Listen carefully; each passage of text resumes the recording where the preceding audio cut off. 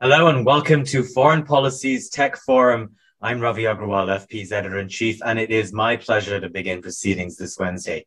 Now, why are we here today? It's clear that technology envelops our lives in every way imag- imaginable. Technology is the backbone of the global economy, of course, but in part because technological innovation has been so rapid in the last few decades, policy has struggled to keep up. And that's why FP is convening a global forum today centered around the, the trends, the risks, and the opportunities of technology. The reality is that every major policy issue, regulation, privacy, cybersecurity, AI, combating misinformation, and more, requires a multilateral approach to policymaking. That has so far been missing. So today we virtually gather government officials, academics, and industry experts to discuss different aspects of new and emerging tech and what efforts are underway to build a framework for tech policies that work for all. We have some terrific speakers joining us today, including Kersti Kaljulaid, former president of Estonia. We also have a commissioner with the African Union, the deputy head of cyber at NATO, Chile's vice minister of trade, and many more important guests. That's all ahead. I want to take a moment to thank our partners. Microsoft, the European Liberal Forum, and Northwestern University's Buffett Institute for Global Affairs. Thank you to all of them. We couldn't do this without your support. Finally, before we get started, a few quick housekeeping items. We've got a great, diverse audience from across the globe, and we want to hear from you. If you're logged in on our event webpage at foreignpolicy.com slash events, remember to submit your questions via the question box to the right of the video player on your screen. We'll try and include several of your questions during our live sessions. So get involved. If you're joining us on social media, chime in on the conversation using the hashtag FPTechForum. Okay, so let's get started. As I said, our first guest is Kersti Kaljulaid. She was the president of Estonia from 2016 until just recently. And under her tenure, Estonia became one of the most digitally advanced countries in the world. Just consider this before we bring her on.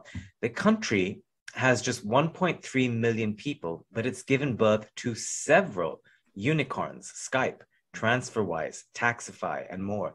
99% of Estonia's government services are online, including digital IDs and the opportunity to become an e resident. You can even vote online.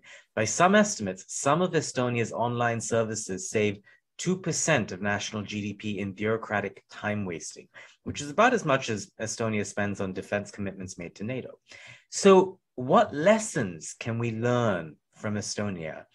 And what can we learn in a way that would inform policy making around the world? Please welcome Kersti Kaljulaid. President Kaljulaid, welcome. Great to have you with us. Good morning and happy to be here with you.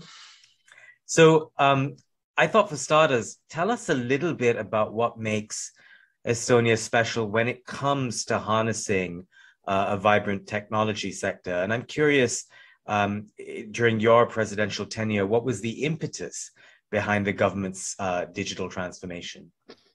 Well, I have to dig far more uh, into history to tell you where it all started. Uh, at that time, I was not the president of the country, but I was an advisor to prime minister. So I do remember how it all started.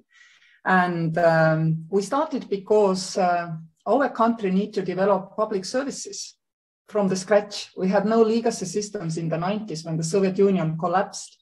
And we did notice that private sector was quite a lot offering already. Uh, well, work online, uh, internet, of course, was born already, and the banks were giving uh, out already services online for Estonian citizens.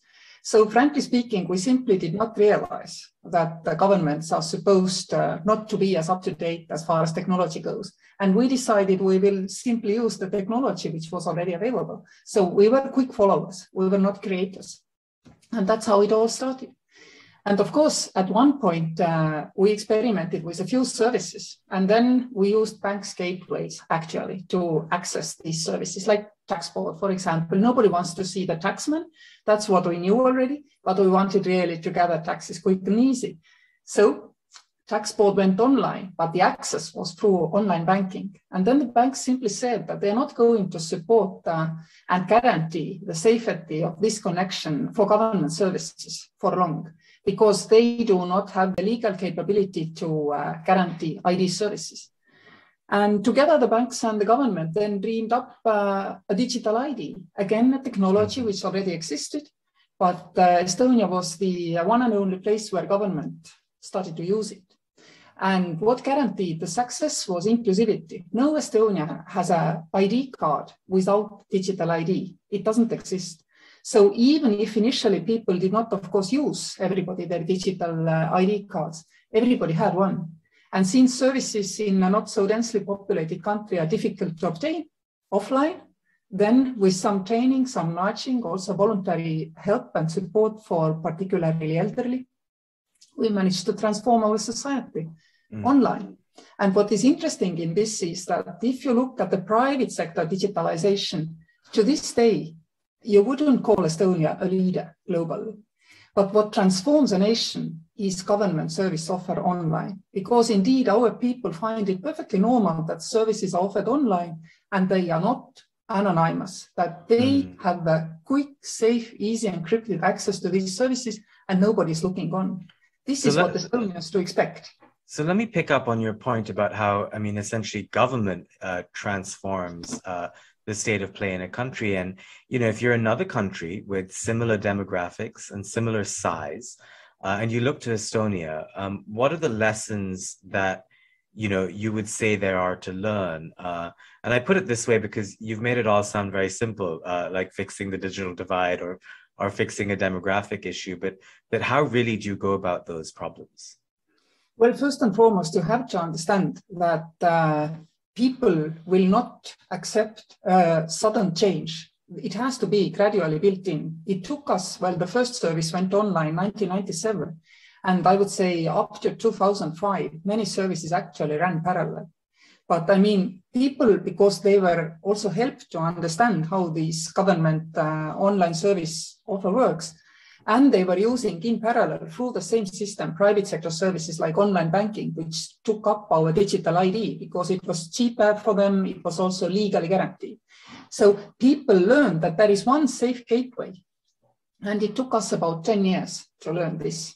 And it didn't, of course, happen just, I mean, people by hearsay uh, understood what they need to do. We ran training programs. We ran expensive training programs supported both by private and the public sector. And so, if people ask why Estonia, I can tell you why. We do not separate our society in any way into private and public. Most of us have worked in private sector and public sector. Most of us expect the same level of technology from private and from public sector. We simply, well, are different in societal organization, not so much in technological organization of this country.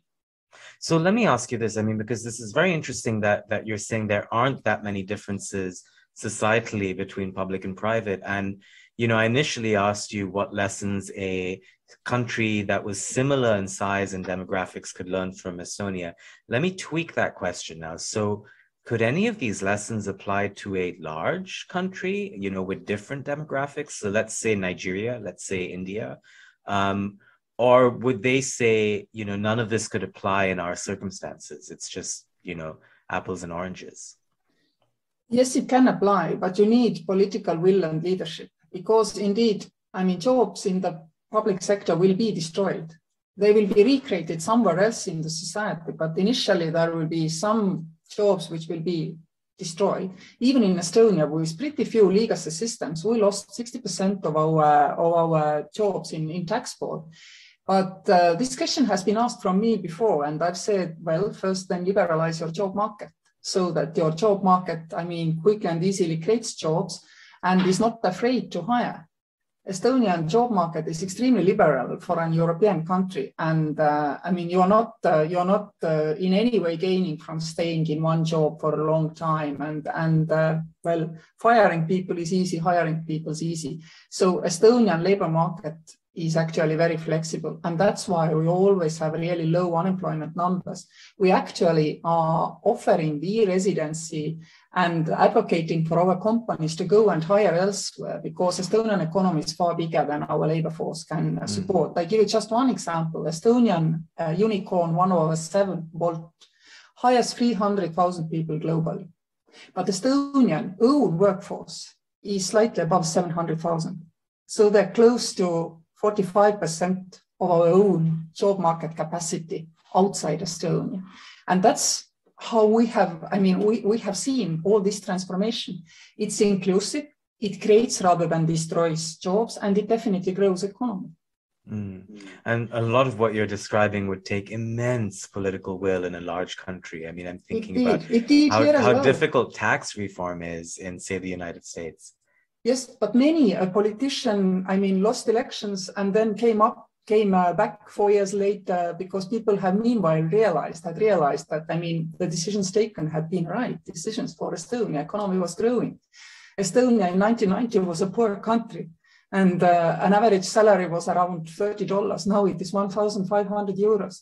So you see, I mean, the benefit has been immense and the Estonian people have seen the benefits. And indeed, it took political courage. Uh, my boss, the prime minister at the turn of the century, he never cared about, I mean, whether he is re-elected or not. We all know this saying that we all know what needs to be done. We just don't know how to be re-elected. But uh, they didn't care. They cared about the future of the country. So um, let me push you now towards uh, technology policy. And, you know, everyone here in the United States uh, increasingly now is talking more about tech regulation, discussing different types of tech regulation. Uh, there are issues of taxation and antitrust and, and competition. Um, how do you think through these issues? What worked for Estonia? What lessons have you learned, you know, in your own time in government through thinking through these issues? And as it stands now, um, what is a good framework for other countries to, to discuss these things? Well, many have thought that Estonia is some kind of a wild west for internet, but in fact it isn't. It is a tightly regulated, but it is a legally permissive uh, internet space. And that's the key to success. You have to regulate to give certain promises to your citizens but you have to make sure that you do not stifle the growth while doing this uh, legislation and regulation. In Estonia, for example, it is very clear from the legal text that each and every citizen still owns the data which, uh, it, which they have shared with the government. They have the right to know who has looked at their data. And this right is guaranteed by the fact that if there is some data is, uh, is acceded by somebody uh, in Estonia, there will be digital fingerprints. So we can verify who has been, like if I see somebody has looked my medical file, I can check whether it was my doctor. If it wasn't my doctor, I have the right to query and complain. So this is a legal space.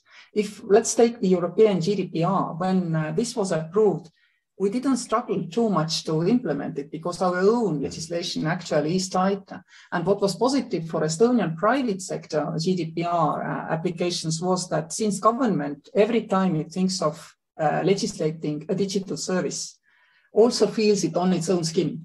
I mean, we're not legislating for this, I mean, alien thing called private sector digital services we are legislating first and foremost also for ourselves. So we are knit together. And this probably helps us to develop a legally permissive space. Mm. And now, about a year ago, Estonia took the next step. We created Accelerate Estonia, where Estonian government is buying in into the new AI related digital services related uh, technologies and services and not because it wants to make a good investment or, or, or not because it believes that, I mean, good ideas need government support it buys in to make sure that it has skin in the game and will therefore get immediate feedback from technology providers and service developers in which way our legal system is hindering their development. And this mm. hopefully helps us to always, well, stay a few turns ahead of, of the rest of the world in making sure that our legal space is permissive, but on the other hand, guarantees data safety mm. for citizens. This is how we have achieved it. It's a 20 years and more long process, but I'm sure it can be accelerated if you carefully study what we have done here in Estonia for other countries. Mm. Um, I have many more of my own questions to ask you, um, but I'm going to bring in a couple of, of viewer questions um, because we have, uh, uh, I think, hundreds of viewers around the world right now listening live, and many more will listen afterwards. But I just want to bring in some of their thoughts as well. So, Azar Majdoub uh, in Barcelona um, he's at the Universitat Autónoma de Barcelona. Um, has a question for you. He says, Your country is simply inspiring. Taking into account how slow policy development and implementation is inside the EU, what are the circumstances and conditions that should come together for the rest of the EU member countries to follow your model? They are following, I have to say, but many citizens have not realized actually that they are. Many governments have built inside the government services a system which is digital, as is Estonians, but they still keep a desk officer, somebody sitting at a counter between the citizen and the uh, uh, digital ecosystem of the governance model uh, everybody actually has pledged to give a digital ID to their citizens. Uh, this is now decided since 2020 during German presidency, I believe this decision was taken. And even more, these digital IDs, they all have to be eIDAS compatible, which means that they all have similar features in providing encryption, timestamping, signature, safety. So there is movement in European Union, and I believe Estonia has been catalyzing it because many European companies work also with Estonians and within Estonian ecosystem. Since you don't have to be Estonian citizen to operate in this system, you can have an e-residency card and be part of this ecosystem. You can run your business from wherever you are in Europe or globally. And, and this has disseminated these ideas. So I believe that's why Europe actually is the only big, rich economy where this kind of thinking has taken hold, that the digital ID is something which a government has to provide, like it does provide you with analog mm. passport. So you cannot say that Europe is slow. Europe is definitely ahead of, let's say, Canada or US or Australia or New Zealand in this, that we have a cross-border system. Well, many citizens don't use it, but I mean, they have the opportunity to start using gradually as more services come online.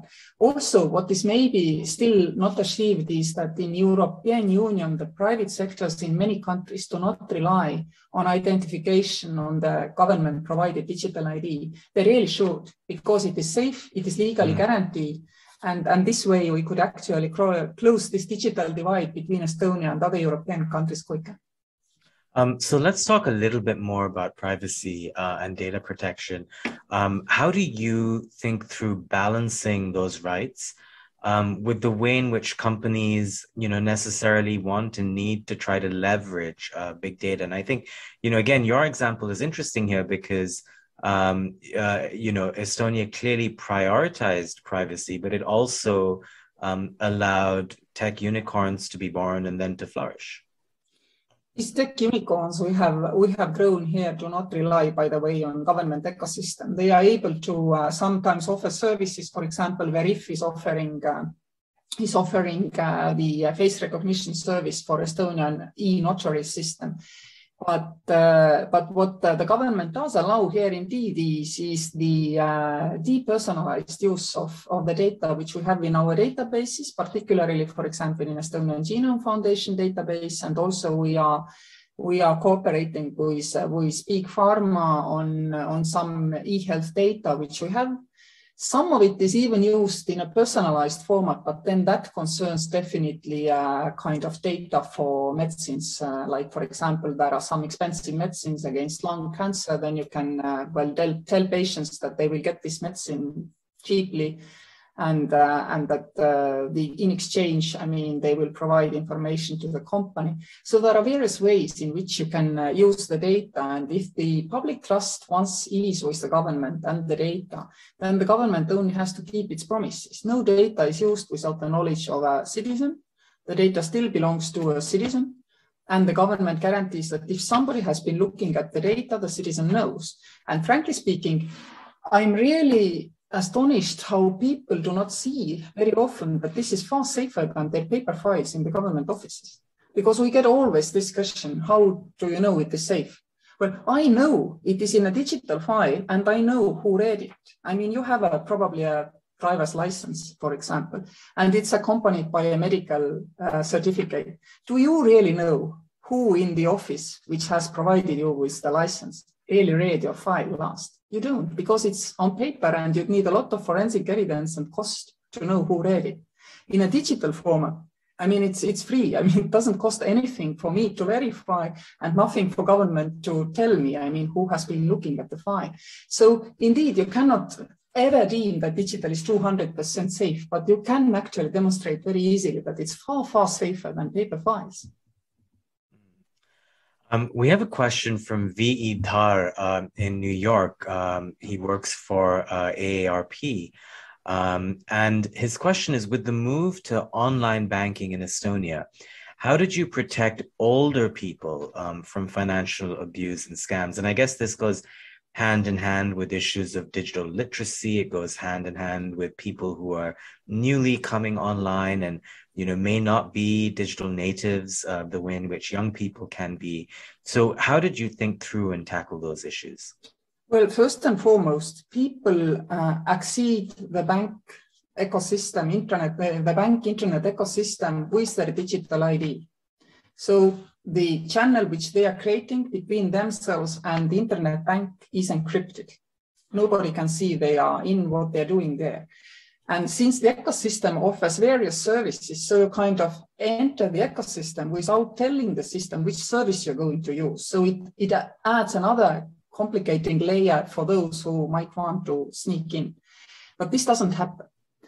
And then, of course, I mean, if you and your bank have a secure encrypted channel, then nobody can steal the data from this secure encrypted channel. This is how it works in Estonian ecosystem. Estonian banks do not provide any less safe accession methods anymore to internet banks.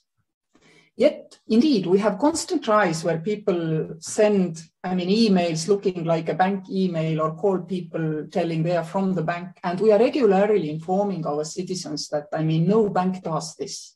So you, you know that if somebody is calling you or sending you an email asking you to provide your security codes for digital ID, you know it is a scam. It is 100% scam. It has never been anything but the scam. And no bank would do anything like this. No government service will do anything like this. So by definition, you cannot be hooked because banks do not send you emails requesting you to uh, identify yourself. It's only you who exceed the system, sign in, and then have access to your bank data. Actually, it's very simple, therefore, straightforward.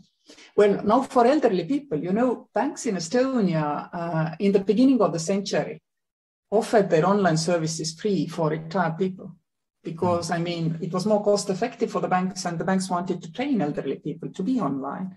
And this helped a lot because, uh, as I told, Estonia has not long been a rich country and our uh, pensions are still very low due to the lack of uh, accumulated assets from the Soviet Union time of the elder generation.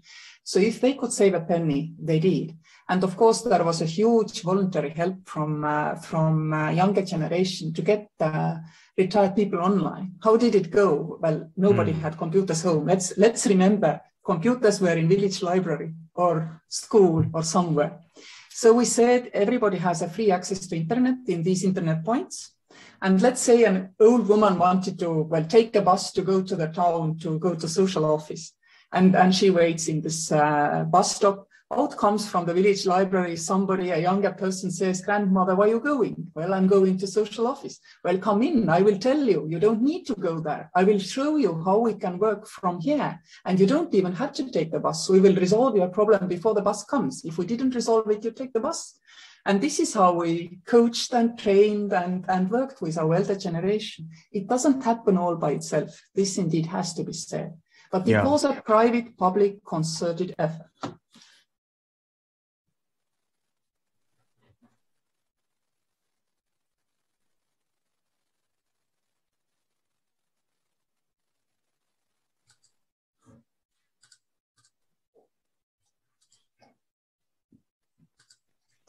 Uh, you know, so Mike Nelson uh, at the Carnegie Endowment for International Peace uh, says that in early September, you gave a great speech on the Tallinn consensus. And he says his favorite sentence was, We should not stop using uh, technology uh, because we are afraid to use technology.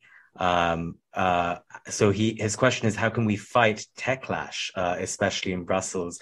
Um, and as you're mulling that, also, Sanidhya Sandhir in India um, asks, um, what is the ideal modus operandi for governance to keep up with emerging technologies? How should different government, government organizations be involved? Well, I really think we should be, glo be, globally connected and legally protected, and we should make sure that we do not stifle the growth of the uh, global uh, uh, digital services by over-regulating it. But one criterion to achieve this truly is that each and everybody, every government must live up to their obligation to provide passports for I mean, no government can shy away from this obligation. If people act and transact online, maybe to 30%, 50%, even more of their transactions happen online, then every government has to recognize its obligation. It's like on the street space. I mean, it's not totally safe. I mean, still nasty things can happen on the street space, but we have driven anonymity out of the street space. We do not, I mean, sell people things or, or, or allow them to make important, uh, let's say, real estate investments or investments anywhere without proving that they are who they claim they are or sell any assets and so on, so on. For some reason, governments have failed to recognize the same obligation nowadays in the digital world globally. But in fact, they should. And then we should indeed, we have started in Europe to build through eIDAS systems, such a global recognition system. But I think the whole world can easily follow because we are now actually developing one global recognition system which concerns our COVID passports. It would not be too big technological step to advance this to mutual or general recognition of digital IDs globally. And this is where we should be going. We should become globally connected, but we need to remain legally protected. And, and this is something which uh, I believe uh, all politicians simply have to recognize as their obligation. The world has moved into the digital sphere. There is no going back on that. COVID has demonstrated that, that uh, at least half of the jobs probably can be done online.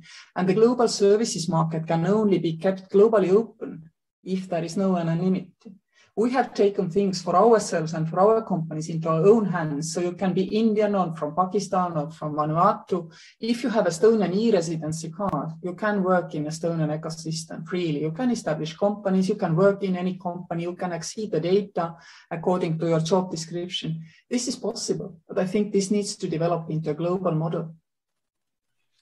Indeed.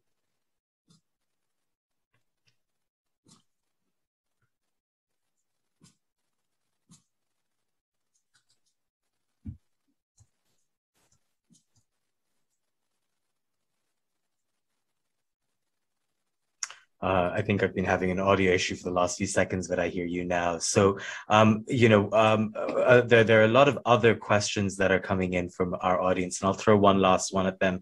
Uh, some of them are actually exactly what I was going to ask you anyway. Ruta Aidis from ACG Inc. Um, wanted to ask about um, hacking and and just specifically if you um, are able to sort of talk through some of some of the policies that Estonia put in place or thought through in terms of keeping malicious actors at bay, um, you know, to deter hackers, to deter other countries and malactors um, from being able to exploit vulnerabilities.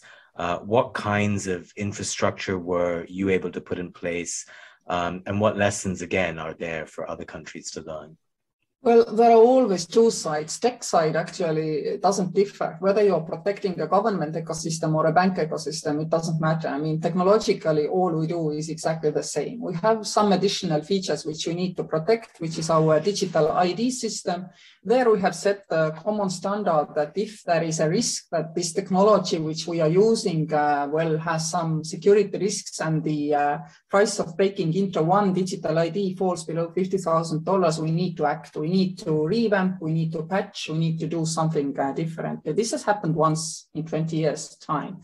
But since we do not rely only on our digital ID cards, we also have smart ID, we have mobile IDs, all these things we do not have uh, have uh, have problems to switch from one to another.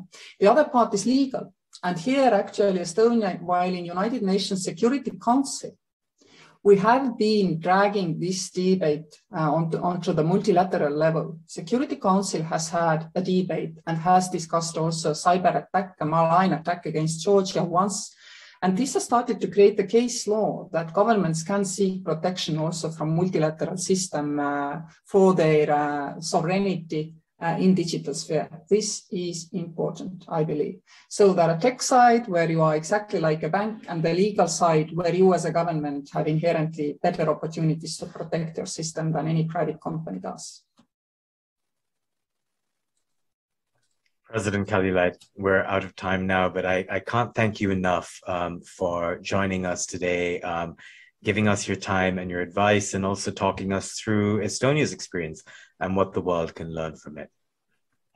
Thank you. And you know, you always need to think ahead. We are already thinking here of quantum computing and the post-quantum IDs, because when the quantum computing uh, happens once, then all our digital IDs will be crackable in a second. So we know that we need to be prepared for that time. And we're already thinking ahead. So if you are technologically advanced, you have to keep all the time investing into the new thinking. Otherwise, you're offline quicker than you realize. So thank you for taking interest.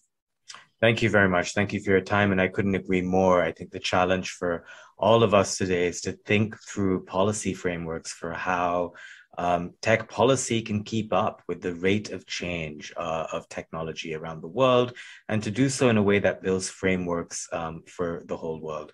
Uh, thank you once again, President Kaljulaid. Thank you. Bye.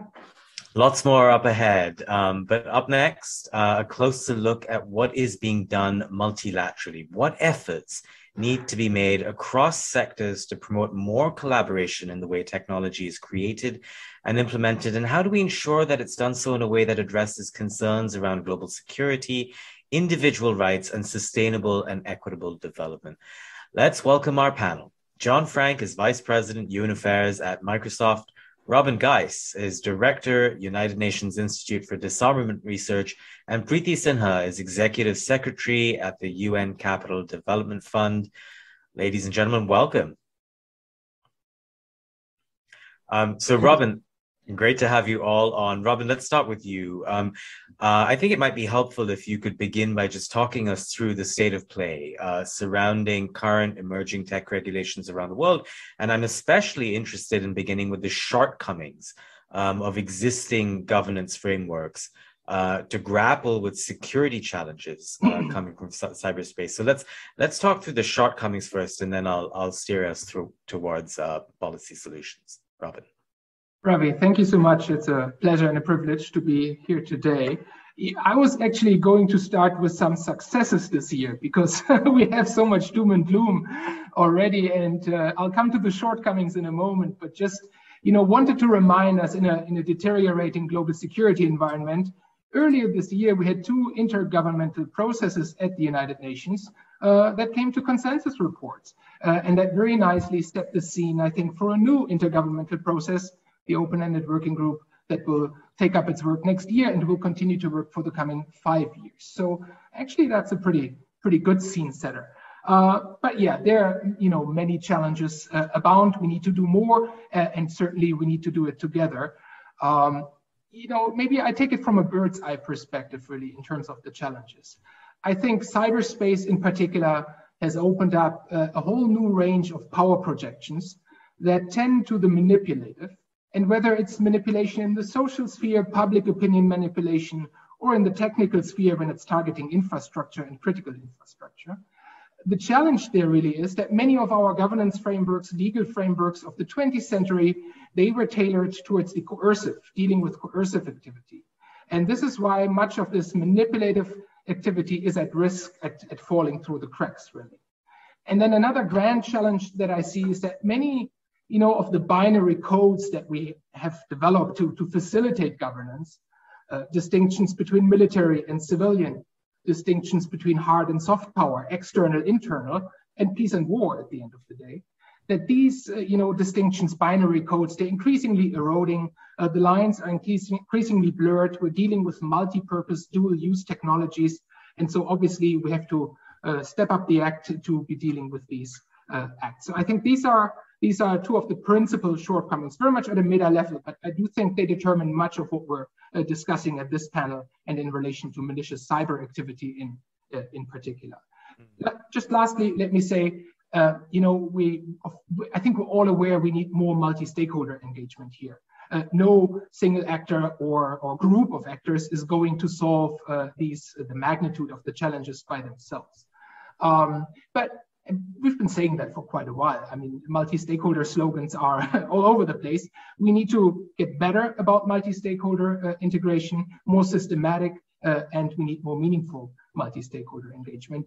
Uh, these, I think, are uh, two of the issues clearly ahead of us and that require urgent attention and work. Those are good points to make, uh, Robin. Of course, the question is, uh, how do we uh, actually achieve multi-stakeholder engagement? We'll get to that. Um, John, let me bring you in, and um, I thought it might be helpful if if you could chart out a little bit, you know, given your work, how a global commitment to sort of multilateral public-private cooperation uh, on the tech frontier would advance digital access and equity. Talk us a little bit uh, through the, the benefits of, of such an approach, uh, why it's needed, and how to make it happen. Um, thank you. Um, and it's great to be with you today. We do have, uh, you know, especially in the technology space, uh, the internet is owned and operated almost entirely by the private sector. The technologies being used by citizens and governments are private sector technologies. And, um, you know, we, so we, we believe the private sector has an incredibly important role to play in these discussions about cybersecurity. Um, a, uh, a very important effort, I'd say, is you know the Paris Call for Trust and Security in Cyberspace, which was launched at the inaugural Paris Peace Forum uh, four years ago. Just last week, the United States and the European Union officially became signatories to that as well. Um, but it's, uh, I believe, 76, 77 governments have now signed, as well as 300 corporations and several hundred civil society uh, groups and organizations, uh, public uh, organizations. So it's an interesting opportunity because it sets out nine principles that we agree to endorse, but also help work on the implementation because it's important to get to norms, but the underlying infrastructure of how does one implement norms of nation state behavior and private sector behavior. Uh, and so through the working group set up um, with the Ministry of Foreign Affairs in France um, and the multi-stakeholder group, uh, the goal is to, to take these ideas and to elaborate them. Uh, one example um, is capacity building. You know, we need to have governments and private sector organizations know more about how to keep their systems secure. Um, and there's a practical side. There's also just a, a another side, which is uh, a process that's sponsored by the Japanese government and Microsoft. Uh, we call the Oxford process, which is a group of international law experts that that work on relatively short papers that, that try to elaborate some of these principles. For example, uh, is ransomware a violation of international law? Uh, and so giving an analysis and, and sort of fleshing things out because we need to build out the system uh, of understanding what nation state responsibilities are, uh, as well as what activities um, they should not be undertaking. So I think that there is a great deal of effort. It's hard though. Um, ministries of foreign affairs are not the most um, you know, they're not they're used to government to government, um, and they're typically you know it was it's all foreign engagements. And so working with private sector organizations around the world and civil society groups, we all have to build that muscle. Um, and going to Robin's point about the open-ended working group and the next version, an open question is how open will it be for non-state participants? And I think it's critically important that we get our perspectives um, not just Microsoft, but um, you know other technology companies and and uh, customers. Um, you know, governments call them citizens, we call them customers, but but that voice is incredibly important to have at the table. Indeed, it is. I just want to remind all of our viewers from around the world that you can uh, jump in and ask some questions too. Again, many of our viewers are uh, experts in this space themselves. So I'm um, very happy to bring them in and hear from them. Um, Preeti, let me bring you in for now. And I'm curious, what cooperative norms and measures do you think are needed to address um, sort of the international security dimensions of, of tech innovations? So thanks, Ravi. And first, a quick uh, thanks to Foreign Policy for having uh, UN Capital Development Fund here. And just to add to what Robin and John was saying, uh, let me bring the perspective of the developing markets here, the emerging markets, because that's where we work. So UNCDF uh, serves the 46 of the least developed countries. And now, on the good side, that mobile penetration, internet, ICT is reaching these customers, uh, clients, citizens, but also the fact that 30% of population might still not have a mobile uh, or access to um, tech by uh, 2025. So, in these uh, countries, what we do, we work on a market systems development approach. What, me, what that means is we start with the policy uh, makers, with the regulators. We work a lot on financial inclusion. So basically, we're trying to run, uh, get businesses running uh, in these economies. As you know, everybody hit really bad with COVID, livelihoods impacted. So under sort of the goals of SDG 8 and SDG 9, which is jobs and innovation, for example, we worked with Central Bank of Mauritania to set up uh, how e-payments would work in, in the central bank in, in Mauritania, right? Think of that country there. And uh, then to provide the customers with a safe, um, regulated uh, system where they can be protected and they can also have recourse. So, listening to uh, panelists here, let me bring in this perspective of those countries. And uh, important to grow businesses, they're important to give them digital access, but also to then have them as equal players in this digital, global digital tech economy. So we we work in those countries, and I've got some other examples from Uganda, from Bangladesh, but really we work on another just to highlight something called better than cash alliance where we are encouraging digital payments which are more secure more regular so in bangladesh for example uh, we help the garment uh, factory women um, you know get access to payments but also safeguard those payments safeguard their data so let me also bring in the data elements of course and uh, also to um, have recourse so, Ravi, lots of examples, but perhaps in this dimension and bringing this element of those emerging markets into the conversation. Mm-hmm. And Preeti, you know, I just want to uh, stay with you for a second here because, uh, you know, your perspective is actually so so vital here because, you know, for example, when we were chatting with um, the former president of Estonia earlier, you know, it's one thing to look at how, uh, you know, mostly rich or developed Western countries can, uh, for example, train segments of their population or the way in which they can frame how to think about policy um, uh, or cybersecurity uh, or online participation. But you know, in in in countries in the developing world, it's a it's harder to to imagine how all of that works, uh, especially given digital literacy, even basic literacy, literacy, I should say. I mean, hundreds of millions of people around the world are still illiterate. Um, I, you know, how do you think through all of those issues? And when you listen to stories such as those of Estonia, do you think do you think there's a model there that actually can be followed, or or does it sound more like a pipe dream? No, definitely can be followed. And let me uh, bring to you the enthusiasm, the energy, the aspirations in these countries that we serve as well.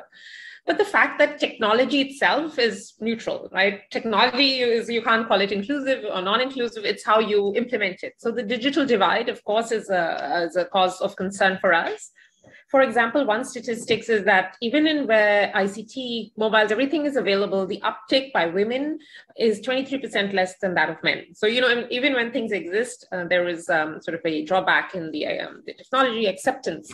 But um, it's definitely taking Estonia as an example. And I, sorry, didn't hear all of her remarks, but uh, certainly a leading example. So we hope that countries like Uganda, uh, like uh, Bangladesh, uh, like many more that we serve, we basically serve about 33 countries in sub-Saharan Africa, a couple of them in Asia. So we uh, try to work on the supply of services. So there should be the supply of digital services, but also the demand. That demand then addresses the financial literacy, the skills training, all of that that needs to happen together. So uh, let me give you one quick example. In Uganda, for example, we wanted this coffee exporter to have digital payments for his 6,000 farmers and MTN, the um, kind of the, the mobile provider, wouldn't put in a tower there because he didn't he, they didn't think it was commercially viable. So we gave them a guarantee of just 100,000 K to put up a tower. And he found that uh, basically he broke even in six months, and the uptake by the farmers was 25% higher than the national average. And in about three years, everybody was uh, receiving digital payments. So, you know, there is a lot of aspiration, willingness. I think we need to take that investment into the story. Yeah, I couldn't agree more. The aspirations in the developing world are uh, they need to be seen to be uh, to be believed. Um, Robin, let me bring you back in. Um, I'm wondering if I can push you towards specifics. You know, in terms of what policies um, would you say are needed uh, on an international scale uh, to ensure the safe and equitable development and use of technology? How do you think through all of that? So, you know, a, a broad question, but uh, I, I, would say, uh, first of all, the, the, the, challenge ahead of us is really implementation and operationalization of, of norms and really drilling it down and ironing out more of the details. Uh, the General Assembly earlier this year confirmed the application of, of the UN Charter of International Law in, in cyberspace.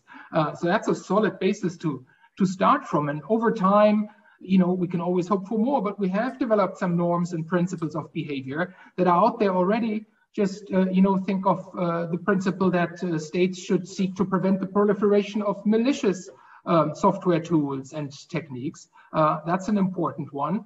And now is the time to really uh, drill it down, uh, look more into the details and take it to a more granular level. And to me, the only way that can happen, and this is, you know, picking up on, on John's point about uh, meaningful multi-stakeholder um, uh, engagement, the only way it can happen in really being more systematic about bringing those in that are at the front lines, uh, and this is mostly the private sector. This is, of course, also civil society, academia, uh, and the science sector.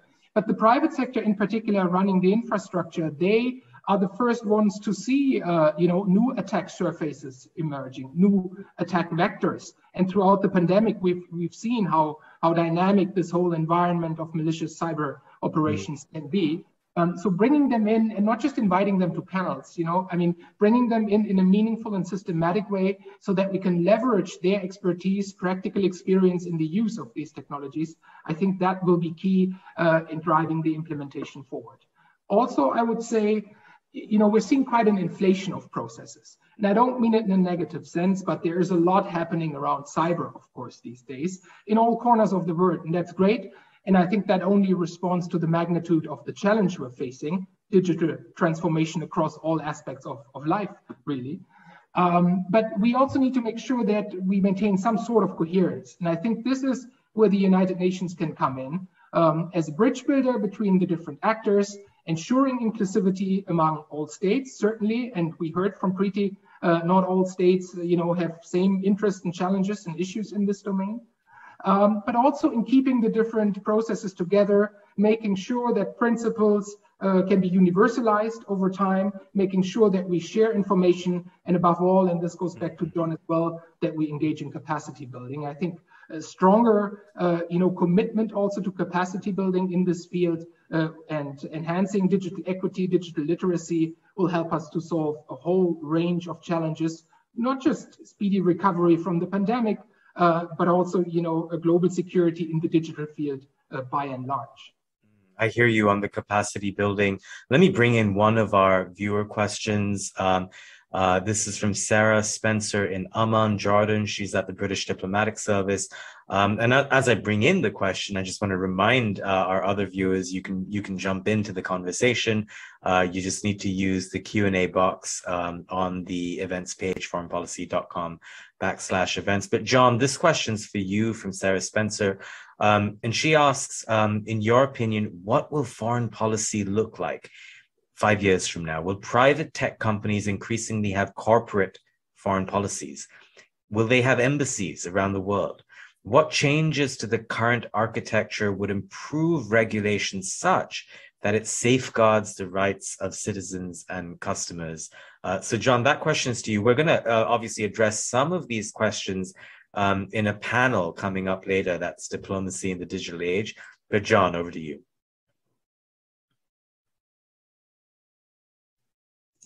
It's a great question. And as a uh, tech diplomat, we have a representation office uh, here uh, very close to the UN. Look out my window at the UN building. Um, and, uh, you know, we are engaged around the world with international organizations as well as national governments.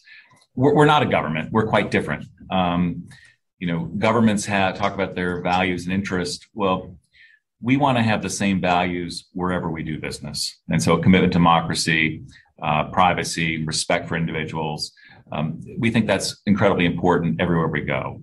Um, and our our interests are really our customers' interests. How do we have customers succeed in today's digitizing world?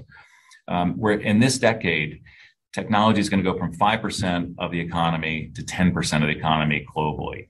Uh, and it's infused in every aspect, whether it's agriculture, we heard about, Preeti mentioned the payments um, uh, for farmers in rural areas, uh, to um, the advances in data science that'll be transforming really every aspect of our lives. Um, and so uh, it is important to be able to, to, to operate in a global world there's values to us all being connected. Um, but you know, our social values need to be reflected in technology. And society needs to hold technology companies accountable, not just for the promise of their products, but how they're actually used in practice. Um, because you know, in technology, we love to think we're going to change the world and with positive things, but but we have to be accountable for how our product, products are actually used uh, in the real world and and own up to um, the negative consequences and address them. So I think that you know technology companies do play an incredibly important um, role in the world, and we need to take responsibility for that role. Um, so I do think you're going to have more um, corporate engagement, and I do think that um, in this changing, increasingly globalized world, um, you know, I think that's a good thing. We're not governments. We don't pretend to be, and and but we do have something to add to the process and, and if we can help create solutions um, that's great.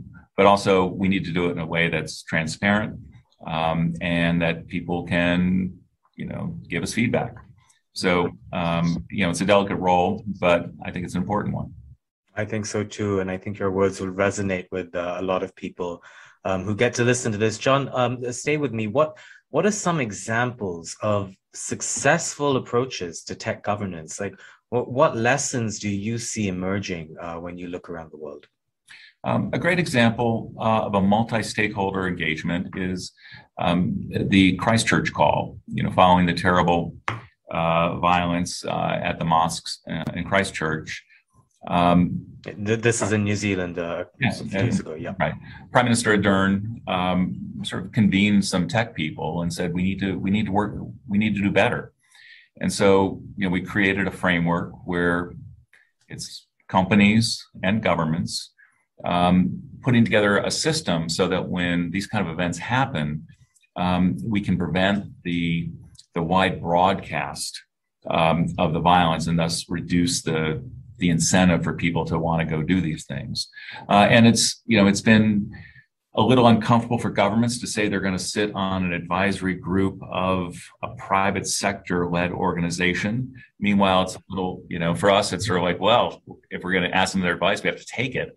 Um, and, and so it's, it's a mixed bag. But you know what? Operationally, it works together. And it's a narrow, specific problem, but it's a good example of by working together, be willing to sort of rethink the boundaries of our roles, um, we can work together to address things. So that, that's that's one specific example. Mm. I'm just going to bring in uh, a couple of viewer questions uh, and and throw them to our panel. Uh, John at the Rhodium Group in DC, um, his question is: Other than the UN, what are key organizations that are helping pioneer global norms on tech innovation?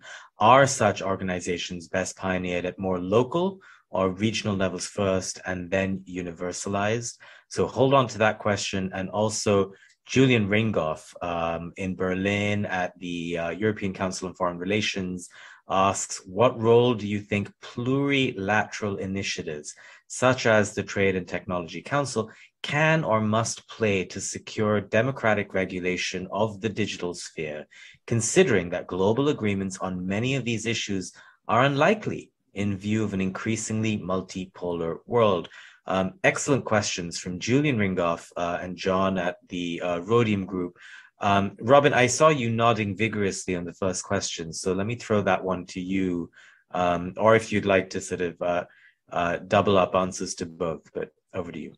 No, no, definitely. But uh, you know, I was uh, also uh, nodding vigorously on, on the hopeful message on which John ended that we we can work successfully, especially given that you pushed me into shortcomings uh, at the opening question. And and just to add to that, if I may, you know, CERN here in in Geneva, the International Space Station, we have good examples over a long period of time how in the field of scientific innovation uh, we have uh, good collaboration on an international level, definitely.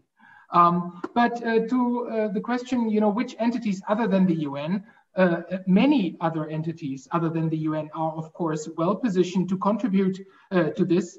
Uh, you know, this is going to be a, a mix of different things.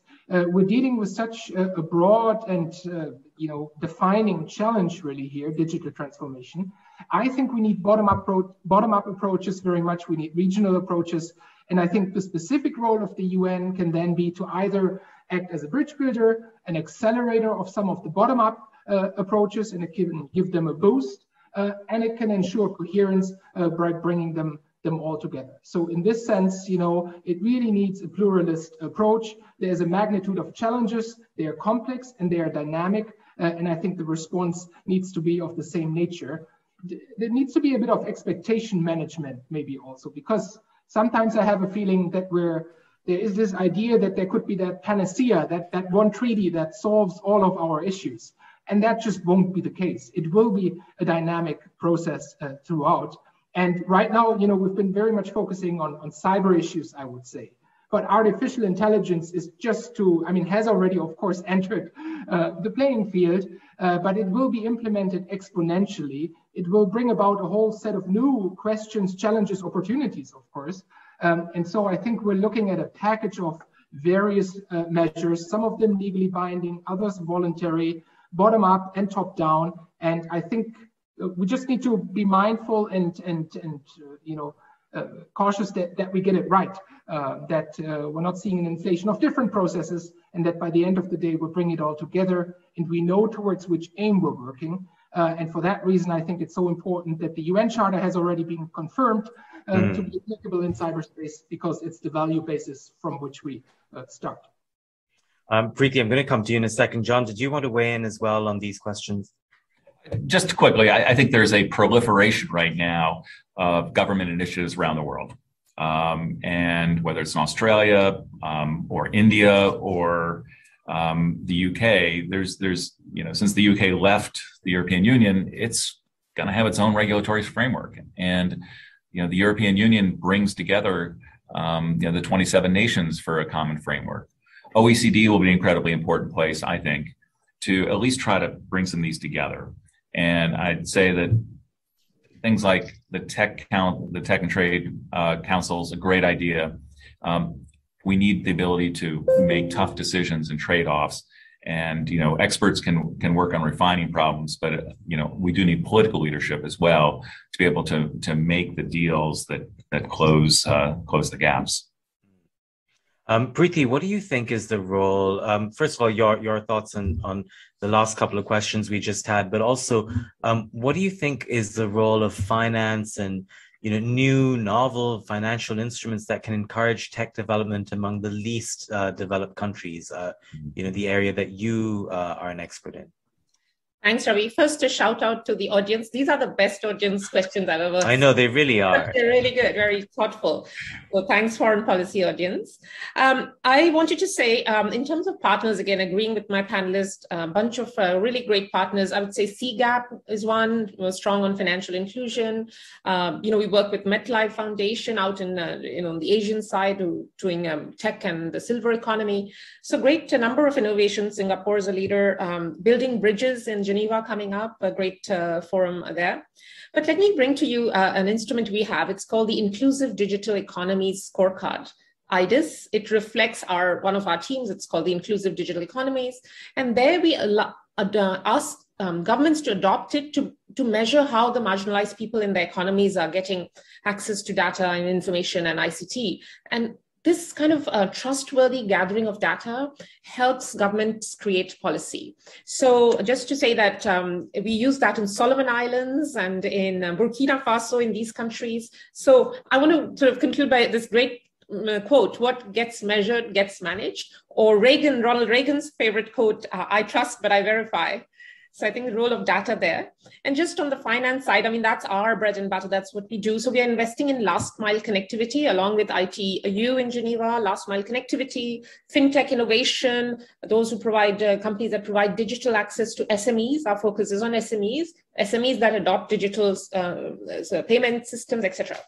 I don't know if you have a moment, Ravi. Do we have time? I might give you a great example.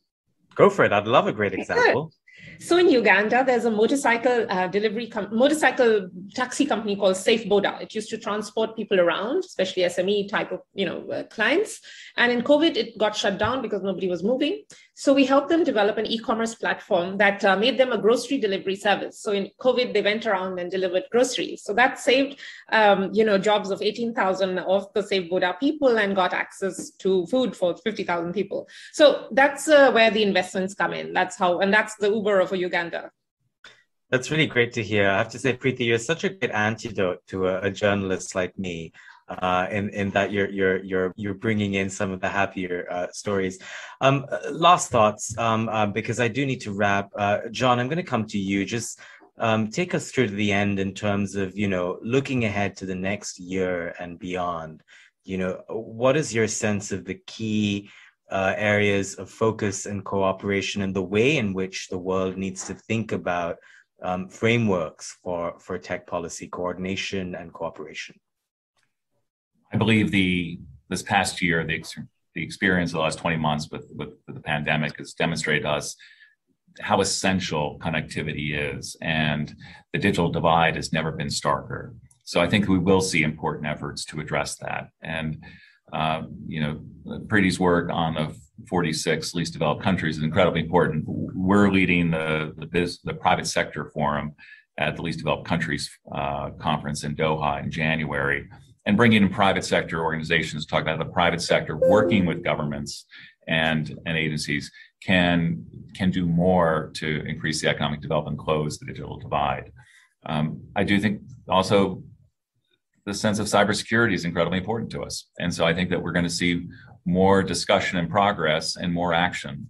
Um, you know, the Biden administration has taken a more aggressive approach, having the NSA disrupt ransomware. Uh, and that's that's a a small example, but it's a significant step of the changing dynamic. So I think that um, we will see cybersecurity, but also addressing the digital divide will be essential. Those are great thoughts to end on. John Frank, Vice President of UN Affairs at Microsoft. Robin Geiss, uh, he's a director at the United Nations Institute for Disarmament Research. And of course, Preeti Sinha, Executive Secretary, UN Capital Development Fund thank you to the three of you um, for your insights and thoughts. Uh, I learned a lot from that right there. Thank, thank you. you. Thank you, Ravi. Great to have you all on. Lots more up ahead. Again, if you're listening, if you're watching, you can take part. We've had some terrific questions uh, so far, so please keep them coming. Uh, you see the Q and A box uh, on your screen if you're looking at this on uh, our events webpage. That's foreign policy backslash foreignpolicy.com backslash events. Uh, otherwise, you can always email us at events at foreignpolicy.com. Lots more up ahead. And to take you through there, I'm pleased to now um, hand over to my colleague, Amy McKinnon. She's FP's National Security and Intelligence Reporter. You should follow her work. Amy's going to take us through a conversation exploring how technology plays into the foreign policy consideration of the EU and how it's impacting transatlantic affairs and much else. Amy, Take it away. Thank you, Ravi. And what a fantastic discussion that was. I really love that example at the end there, really bringing these issues to life for us. I'm delighted to continue our event today with a discussion on the EU's calls for strategic autonomy. That is increasing the bloc's self sufficiency in issues of defense and national security, and how that plays into the realm of technology policy. In terms of technology, this has been seen as reducing the dependence of the EU on the United States, but also crucially, uh, reducing the extent to which the bloc supply chains are reliant on technology and components from China. This debate has been only made more urgent by, of course, the COVID 19 pandemic.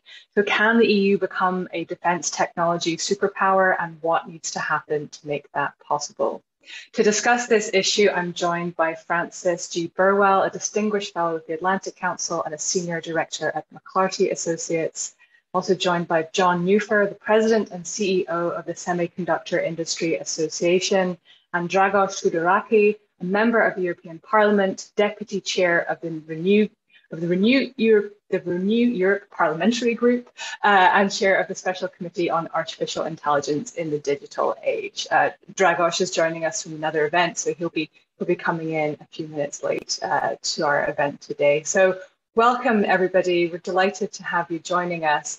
Uh, just as we have a very global audience, like we do for all of our events dialing in today, I just want to kind of set some context on what we mean when we talk about uh, strategic autonomy in the realm of technology. And Frances, I'm hoping that you can, can kind of set, set the scene for us, give us a sense of the lay of the land. I mean, what do European leaders mean when they talk about strategic autonomy and technology? And, and where is the state of the debate on this issue right now? Well, I think what they really mean is the ability of the European Union and its member states to make its own decisions uh, and not be hindered by a lack of capabilities. So this debate really took off after the Libya operations uh, when they found themselves unable to provide some of the intelligence and uh, refueling capabilities that they needed in order to pursue that operation. And so within the defense and foreign policy realm within the EU, the notion of strategic autonomy took off as kind of the ability of the EU to be a stronger actor in the world and to back that up with serious capabilities. Um, what has happened since then is that this debate has migrated into the tech world. And the EU in, in the defense world has pursued certain uh, initiatives such as PESCO and also boosting the European Defense Agency and various projects. But in the tech world, there's a slightly different um, challenge because it's not governments that really develop commercial technologies, right? It's companies. Governments can set the rules. But I think they were, uh, as, as technology became ever more part of our lives, I think a number of Europeans were kind of taken aback by how few European companies were really world leaders in that on that stage. And I think for the Americans in your audience, if you think about this, uh, a world where we bought everything online from a Japanese company, we bought uh, our our main platforms for listening to each other and engaging with each other on social media were French or German. And I mean, really, there were no American companies that were, you know, managing the internet and providing us with these services. I think we'd be taken aback. Um, and so the idea of sovereignty and strategic autonomy has migrated to the tech space. This has, as you pointed out, then been coupled with the impact of uh, supply chain disruptions and COVID, where it became very clear that there were strategic technologies that neither the EU nor the United States felt adequately prepared for. And I would just say that we are now going through the same discussion a little bit differently, but in terms of things like strategic minerals, things like semiconductors, uh, we are uh, medical supplies and vaccines. We're talking about how do we uh, how do we protect ourselves? How do we make sure that we have the capability to act? And so I think that's really where this debate goes, the, comes from. The question is, what's the role of government? Does it support research? Does it support uh, keeping supply chains open, such as what we've seen discussions about whether ports should run 24 hours a day or not, who manufactures semiconductors? When is it government support and when does it become protectionist? And I think that is the crucial issue. And we don't we don't have good guidelines right now. And that's really where the US and the EU need to work together to get some definitions of what's acceptable in uh, creating that autonomy or sovereignty and what is not acceptable. Thank you, Frances, and uh, welcome, Mr. Tudorache uh, joined us um, at, at, a really perfect moment um, Frances was, you know, was, was setting the scene for us about what we mean when we talk about strategic autonomy when it comes to technology. And one of the things she touched upon was, of course, you know, some of the very best technological innovation comes from the private sector. But with the European Union now looking to boost its strategic autonomy in technology, what do you see as, as, as you know, what can lawmakers do in Europe to kind of stimulate investment and growth in, um, in, in the private sector when it comes to technology, and what can be done to retain that that that talent and, and those companies within the European Union, make sure that they we don't have a brain drain or they don't get bought up by by American companies, for example, or other international players. Well, um, first of all, thanks a lot for, for inviting me, and, and I've I've caught uh, I think a good part of, of Frances's intervention, and whom I say hi. Uh, we we just met two weeks ago in Washington, um, and I very much agree with with, with her intro um, on autonomy and what we both on uh, the EU side and the US side of the Atlantic need to do. Um, what can regulators do, and what do regulators do here in Europe? I think the the first fundamental step was to actually recognize the challenge, um, to recognize the the reality of this digital, this technological transformation, and in a way taking over a bit the the geopolitical agenda for for all of us. Because that in itself, I think, was a good thing. I remember just a couple of years ago, if you'd come here in Parliament and, and talk about artificial intelligence and, and its role uh, for the future, you will have a lot of eyebrows uh, raised and nothing much. There were, there, were, there, were, there were very few of us legislators at European level uh, that were actually quite tuned into uh, into this new reality. And right now, the situation is fundamentally different. Uh, the mere fact that we have a special committee like the one that I'm that I'm leading on artificial intelligence is a testimony to that. So again, number one, political awareness and recognizing this is a priority. Then second, and that's something that this commission uh, since 2019 has done, and also this parliament, but also the level of national governments in Europe, is to uh, basically try and put, I say, I underline try, uh, try and put uh, our money where our mouth uh, was and is. Uh, in other sense, um, recognize that if you actually have that ambition and if you want to stay tuned with this transformation and with this new digital revolution, um, and if you want to build that autonomy and build that, that ability to play on the international scene, then you have to invest.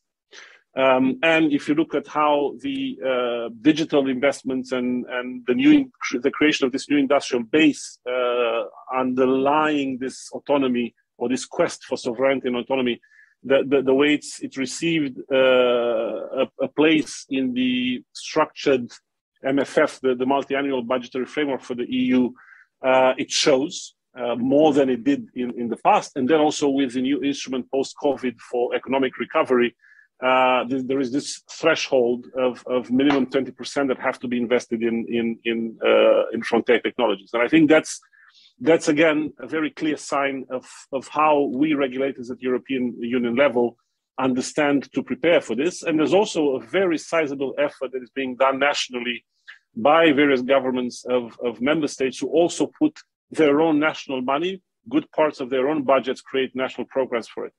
Now the question is, is it enough?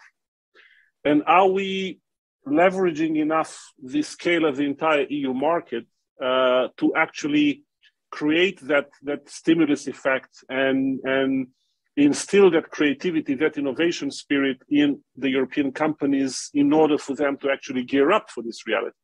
And that's actually a question where I think the jury is still out there because we haven't yet seen, from my point of view, at least in all of the areas where we want to, we haven't yet seen the effects of this new political priority that we've uh, recognized and, and the money that we've put on the table.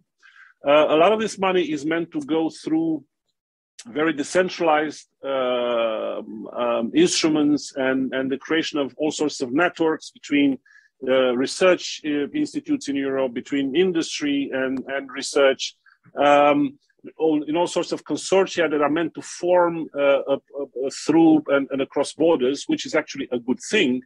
Uh, but I think we also need to invest more in a, in a steer that is being given, uh, and this is where uh, the, the industrial ecosystems, the way the Commission has envisaged them, play, play a role.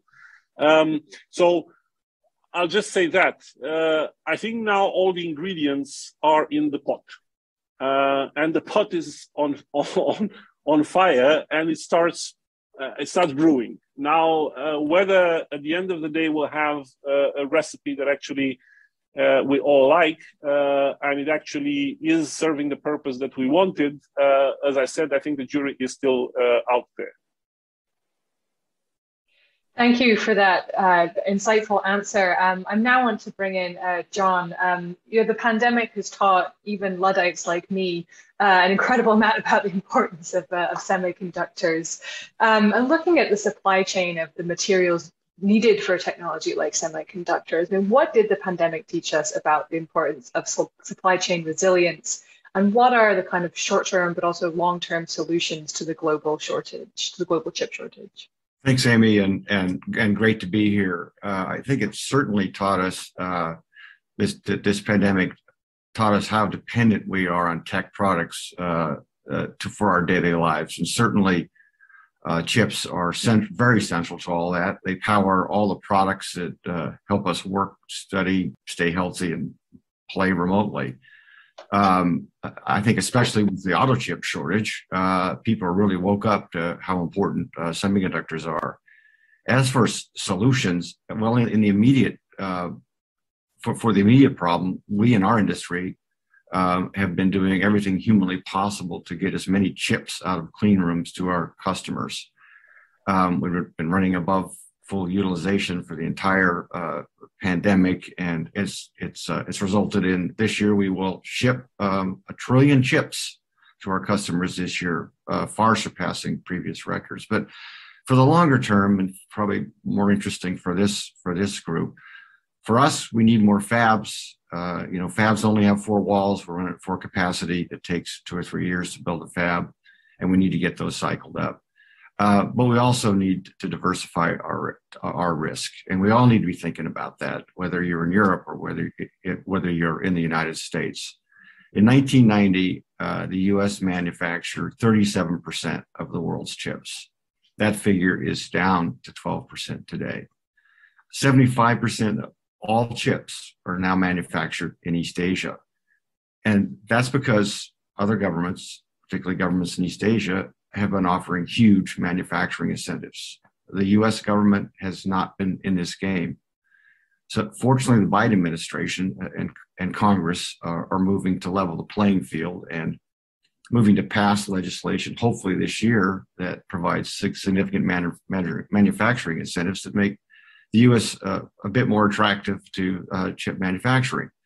Um, but I want to say that um, this effort is not an effort to create uh, self-sufficiency in chip supply chains. Uh, that that that's uh, would be highly inefficient, would be prohibitively costly.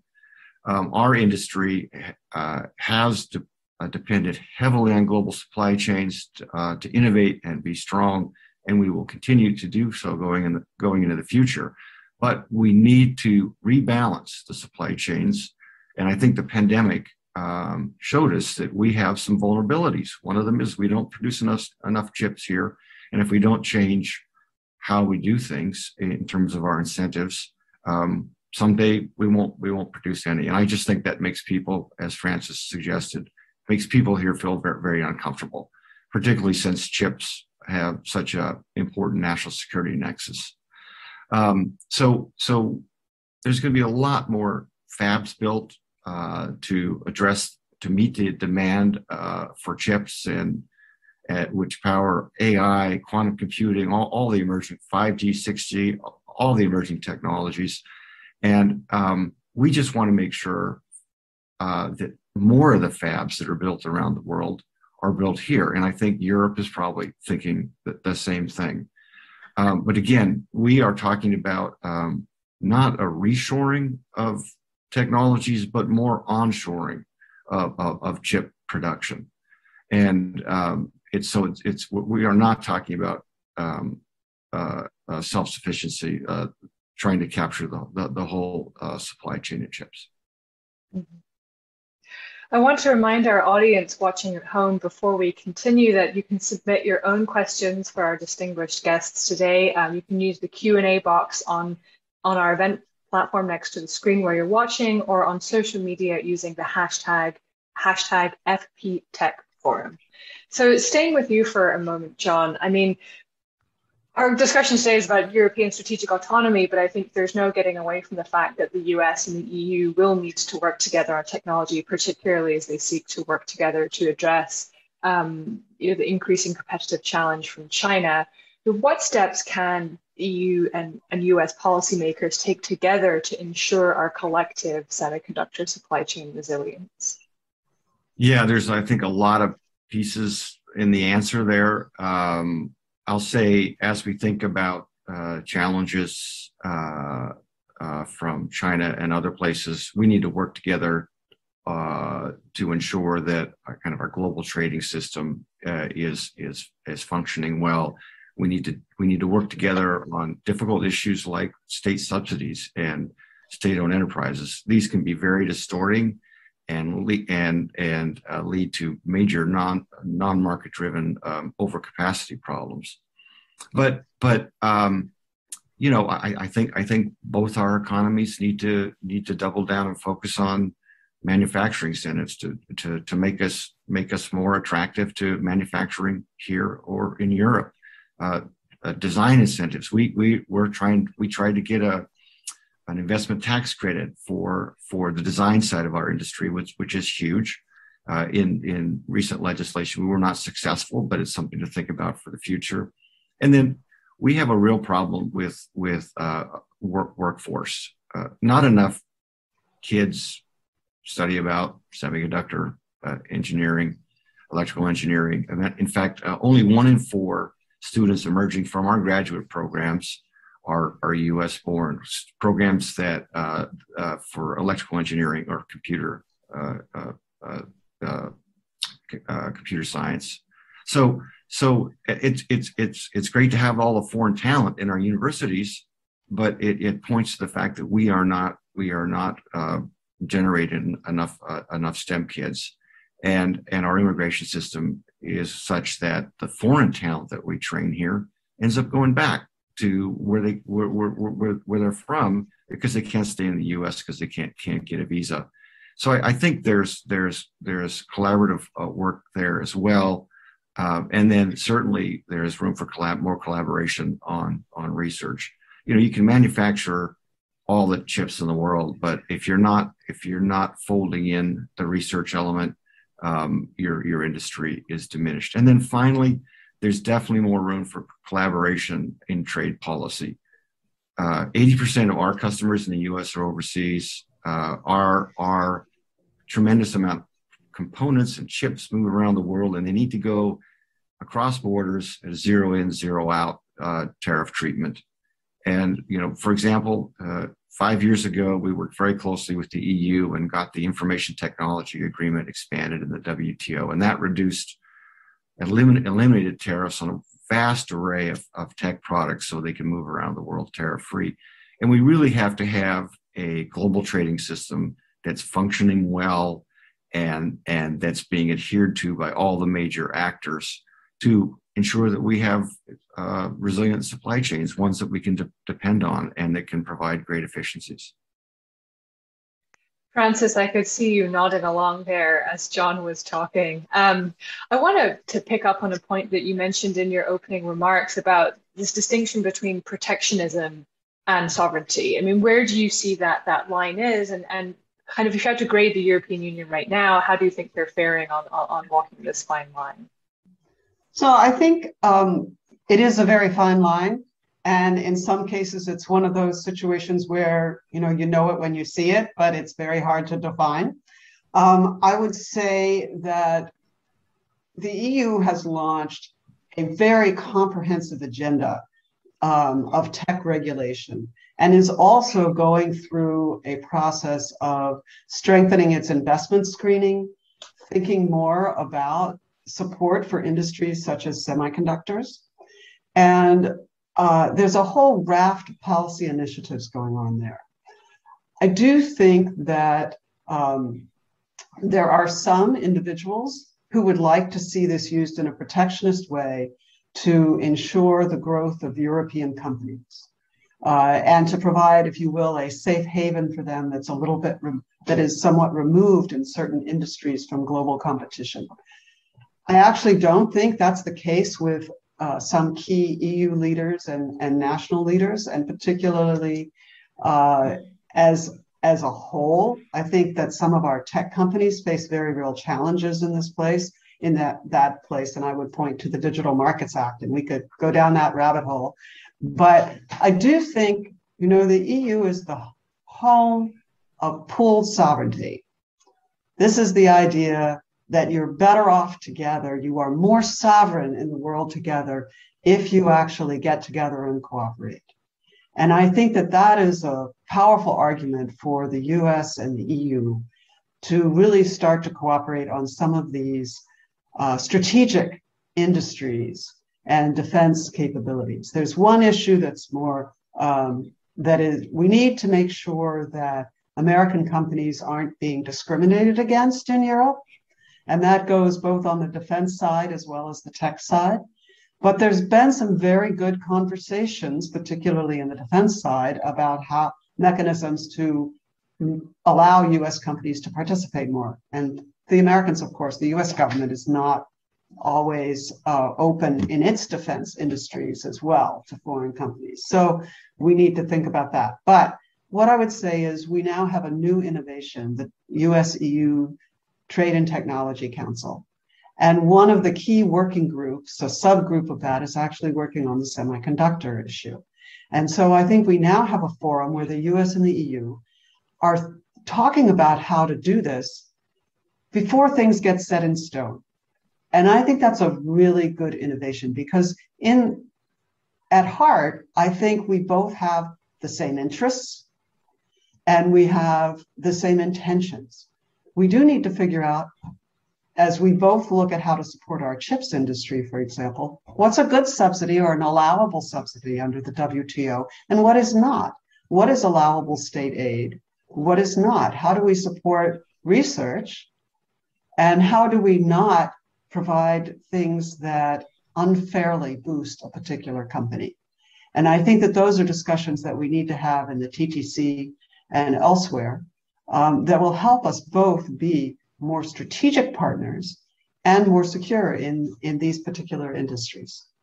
Amy, can I just jump in and add something very quickly to what, what Frances just said? And that, that is, we, we are, um, uh, first of all, very much agree with what you said, Frances. And um, this, this legislation I was talking about is called the CHIPS Act um, that would provide $52 billion, mostly for manufacturing incentives for uh, incentivizing more, more, more fabs being built in, in the US, we, we were very careful about making sure that legislation was agnostic in terms of nationality.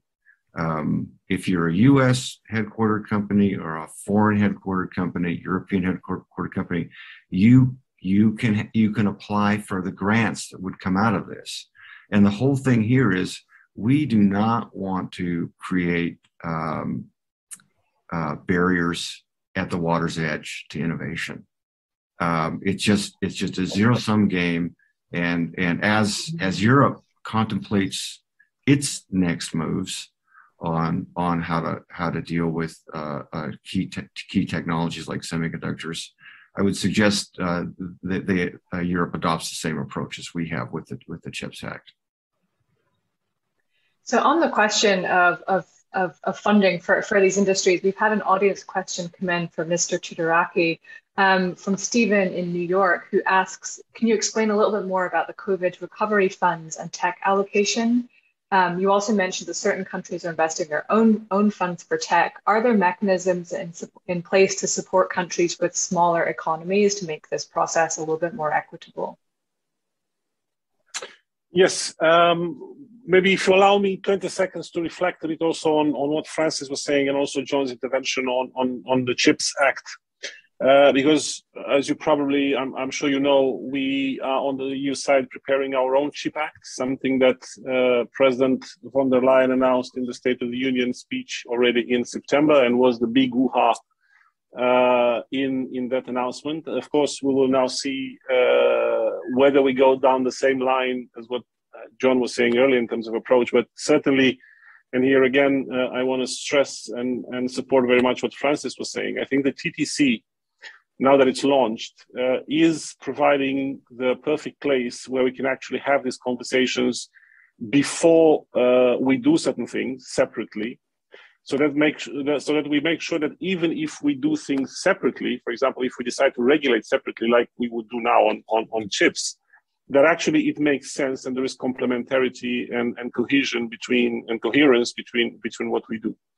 Um, and if we look also at the way the, the various working groups within the TTC have been set up and the kind of topics that each of them uh, has uh, and uh, the objectives that they have set up uh, to work with, uh, I think clearly the right the right staging is there for us on the US and, uh, and the EU side to, to work better and to achieve those common goals based on those common values uh, that, that uh, Frances was also referring to, even if, um, and here I think we have to understand the fact that we will be probably taking also different paths sometimes, and we will apply different methods because also we have different cultures from the way we regulate also to the way we, we invest, to the way we relate with, with industry.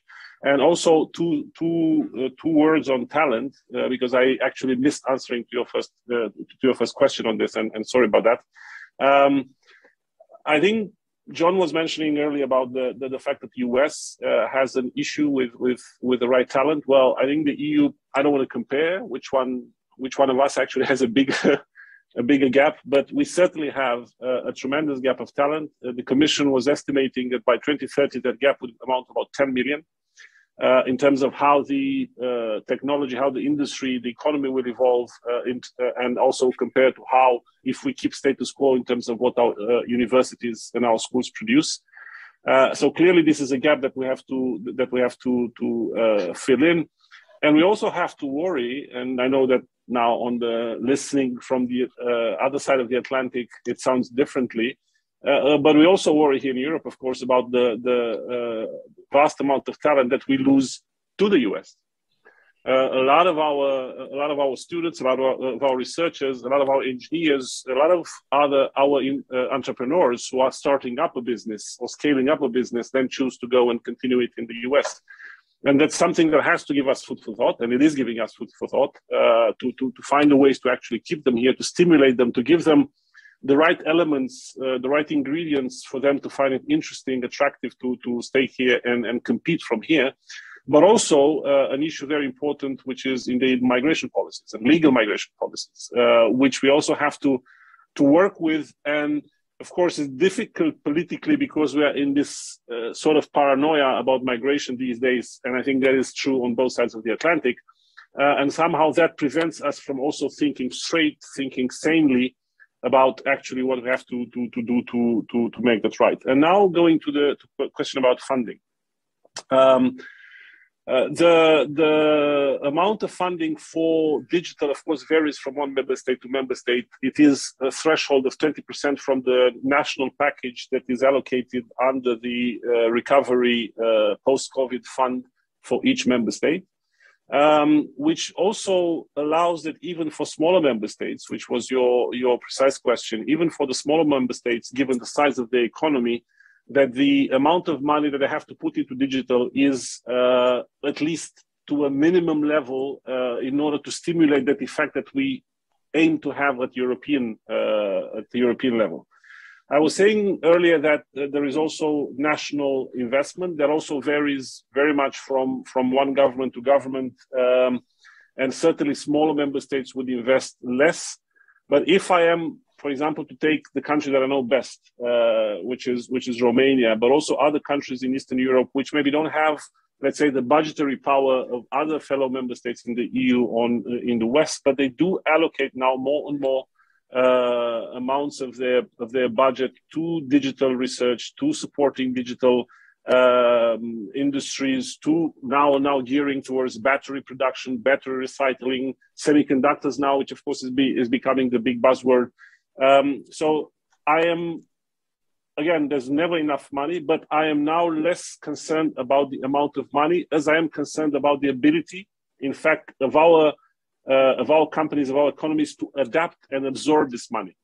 Um, and to actually create those those networks and, and, those consortia that I was mentioning earlier, which EU wants to see, wants to have, so that again it plays out the internal the entire market of the of the EU because that is the only way we can actually compete properly.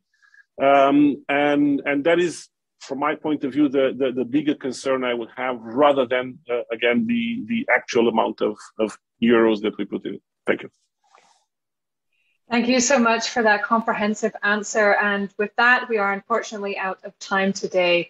I'd like to thank our panelists for joining us this morning and thank you so much for your insightful answers.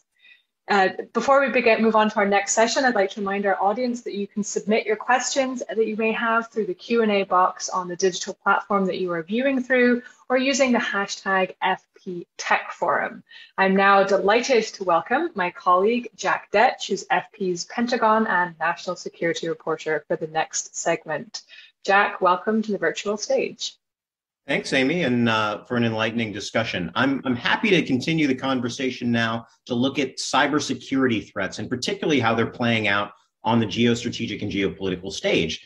And to do that with us today is Chelsea Slack. She's the deputy head of cyber defense at NATO. Uh, Chelsea, welcome to the program. And to start off, I'm just curious to get your sense of what NATO is actually doing on, on cyber. Sort of what are the key initiatives that we should be paying attention to? Thank you so much, Jack, and allow me also to thank uh, Foreign Policy Magazine for the invitation to be with you in this inaugural uh, tech forum. So that's uh, it's really great to be here. Moving a bit back, the the title of this conversation with Jack is is securing cyberspace, and I think really what it comes down to is also securing the values that underpin cyberspace. NATO is a political military alliance that for nearly 75 years has been safeguarding those values in the physical world. And now those values also apply to cyberspace, including the notion of collective defense, which I know we'll get to uh, in the questions to come. NATO was founded on the notion that countries can do more when they work together.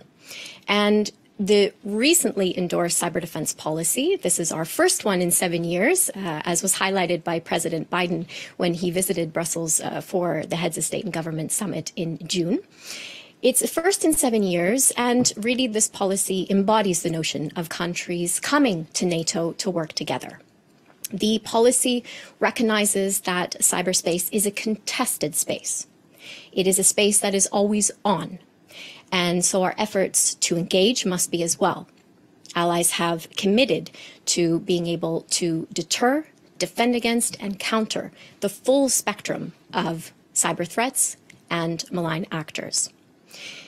The new policy also recognizes NATO as a valuable platform for countries to come together to share information about their concerns, to enhance their national resilience at the individual level, but then also come to the table collectively to impose costs on actors who may do harm. The third thing the policy does is recognize that NATO is part of a broader community.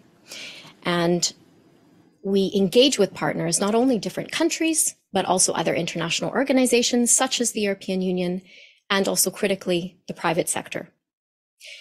Once again, recognizing this notion that countries can achieve more when they come together. And this is very much an issue that is now at the core of our thinking as we look at the competition that's playing out between states and in this multi-stakeholder space, recognizing that cyberspace technology issues really are at its core.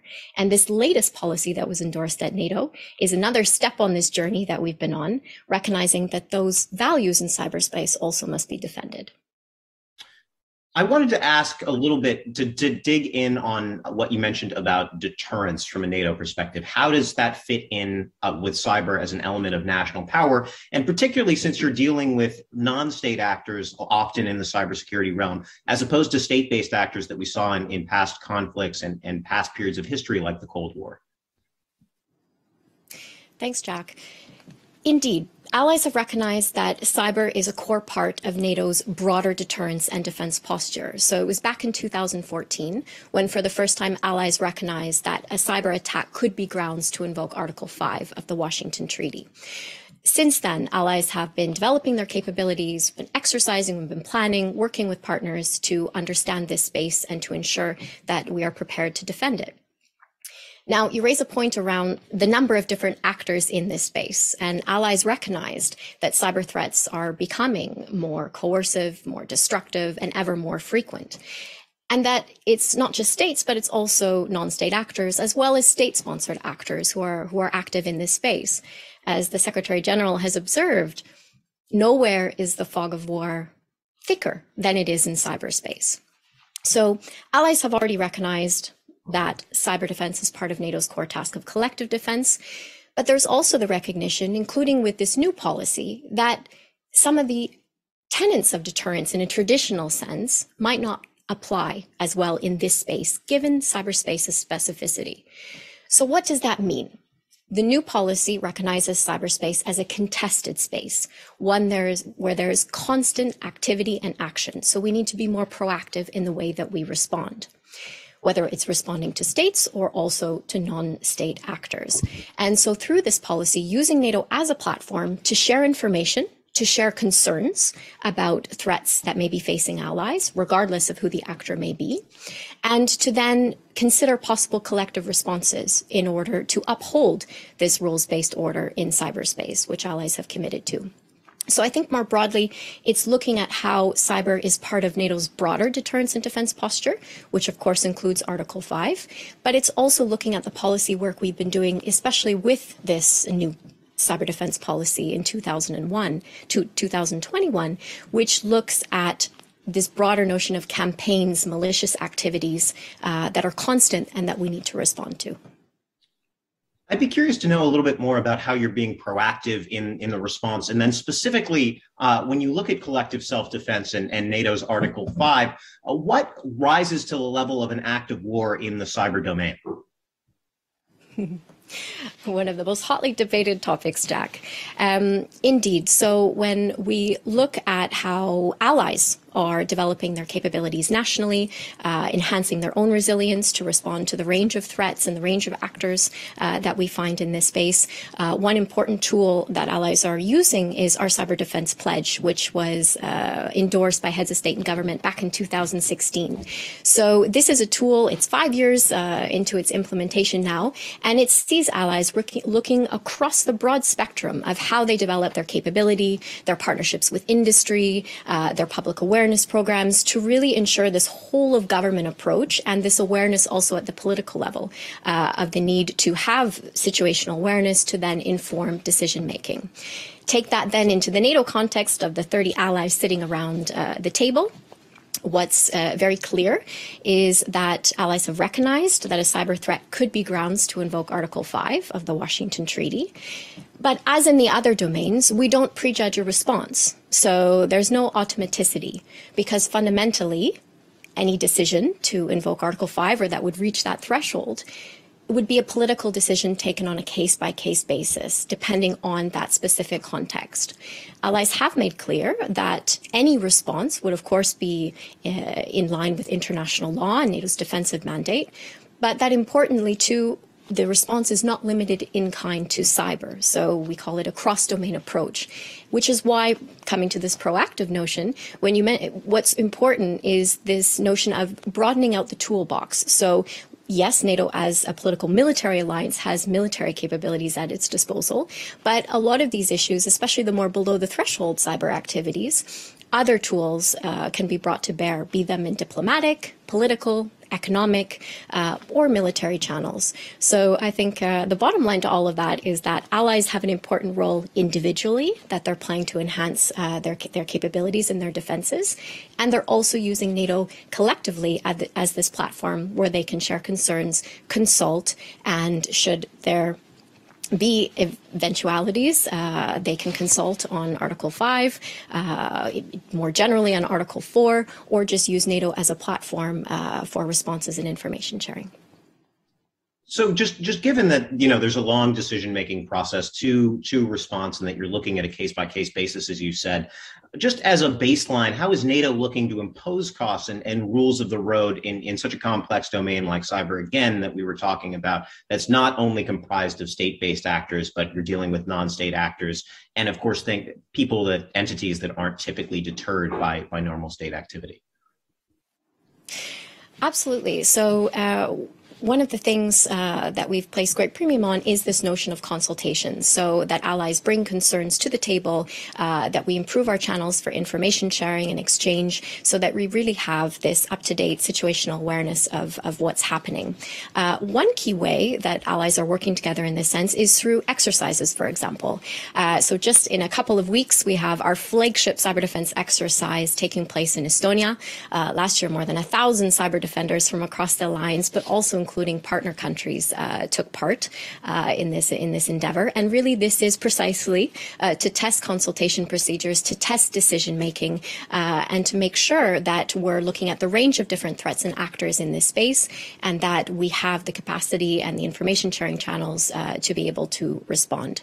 So, writ large, the work that we're doing also in our planning, in our doctrine, and in broader exercising, really important for, as you said, making sure that we have the right information at our fingertips so that when decisions need to be taken, they can be taken in, in a swift manner. I, I wanted to ask a little bit about the expansion of uh, the cyber domain into the physical domain. We've seen uh, renewed attacks on critical infrastructure, both in the United States uh, and in the near abroad. And I'm curious just how NATO's thinking about that problem. And then just when you look in the context of collective defense and the notion of, of active war, where the critical infrastructure problem kind of fits into some of those problem sets. Yeah, so you mentioned also NATO as a platform and how we impose costs uh, for for some of this activity, and uh, a couple of examples. I think really this once again going back to the beginning of the discussion is really about those values, about the rules of the road and how we enforce them. So there have been a few incidents instances as of late where allies have uh, issued uh, statements where they condemn malicious cyber activities. The first uh, being last year in the context of the pandemic when we were seeing uh, increasing malicious malicious cyber activity targeting those sectors that were critical to pandemic response. Um, so allies issued uh, through the North Atlantic Council a statement condemning those activities, be they supported by states, uh, non-states, or otherwise. I think another example of this um, more recently uh, comes from the next statement from this past summer, uh, where allies once again came together to share concerns over malicious cyber activity uh, writ large, but also looking specifically at the Microsoft Exchange server compromise. And a statement was once again uh, issued, which set out uh, the behavior that allies found to be unacceptable and not in line with responsible state behavior, that acknowledged some of the national attributions contributions made by allies for this activity, and that called on all states uh, to uphold their commitments and obligations under international law and to abide by those norms of responsible state behavior. So I think looking at the threat landscape, uh, it's how dynamic it is, but also the range of different actors. What's important is that uh, we're using NATO as this platform for countries to share this information, to work together, and to collectively decide uh, to uphold this rules-based international order in cyberspace. Chelsea, you mentioned the cyber defense policy. I'm curious what you're hoping the next steps from the alliance will be uh, from the from the member states on cyber after that. Well, it's uh, it's an important time at NATO more generally because, of course, we have uh, discussions currently on the development of a new strategic concept for NATO, looking towards the Madrid summit next year. Uh, the last strategic concept uh, was from 2010, which was actually the first recognition that cyber threats could reach a threshold uh, that would threaten Euro-Atlantic prosperity, security, and stability. So we've really been on a journey and come a long way from that moment. but of course, there's there's more work to be done, um, and so it's in that spirit that this new policy, in the fact that it recognizes cyberspace as contested, that our policy responses need to align to that, uh, the fact that it puts a premium on allies individually developing their own resilience, but then also using NATO as this platform to collectively impose costs and take action where necessary. And that it's also a platform where allies can exchange with partners, where we can work with other international organizations such as the European Union, and critically also with uh, the private sector. So I see this uh, policy as, as an important step in that journey. And moving forward, I think discussions around the strategic concept will look at how cyberspace and technology, emerging disruptive technologies more generally, are really at the heart of this strategic competition that, that we see and the policy responses uh, that we need need to develop moving forward. I wanted to turn to just one question from the audience. Uh, we had a question about how will NATO deal with threats to cybersecurity that, that are presented by quantum computing. Curious to get your thoughts on that. Great question. So indeed, this this uh, links very closely with some of the broader thinking that NATO has been doing around uh, emerging and disruptive technologies. Um, there is a, a, strategy that has several different technology areas, uh, including quantum, autonomy, AI, data. And at the recent meeting of defense ministers in October, uh, allies uh, approved their very first uh, strategy in artificial intelligence, including principles of responsible use. But they will also increasingly be looking at those technologies, including quantum, that are mentioned. Of course, with all technology, uh, a double-edged sword in the sense that, of course, we see benefits uh, to helping cyber defenders uh, better protect and respond to incidents using some of these technologies. But then, of course, on the flip side of that, um, it can make the, the job much harder as, as these technologies develop further. so the short answer is that emerging disruptive technologies, once again, at the very core of the policy debate here at NATO, especially looking towards the strategic concept in Madrid uh, next year at the summit, and that we continue to follow these developments, work also very closely with the private sector and academia to understand where these technologies are going and the implications uh, at the political level, but also the military and technical levels. Chelsea, you mentioned strategic competition and your work towards a new strategic concept. Uh, I'm curious, since there's so much buzz in, in Washington about greater focus on China, I know that's something the alliance is looking at as well. How's that manifesting in the cyber domain? And as you're looking towards the new strategic concept, how do you think that will be represented there? Yes, well, the NATO Secretary General has referred to the fact that, that we do find ourselves in a more competitive world. And so, as with the physical space, uh, this is also playing out in, in cyberspace. And I mentioned some of the steps that we've taken through this new policy to recognize the environment for what it is.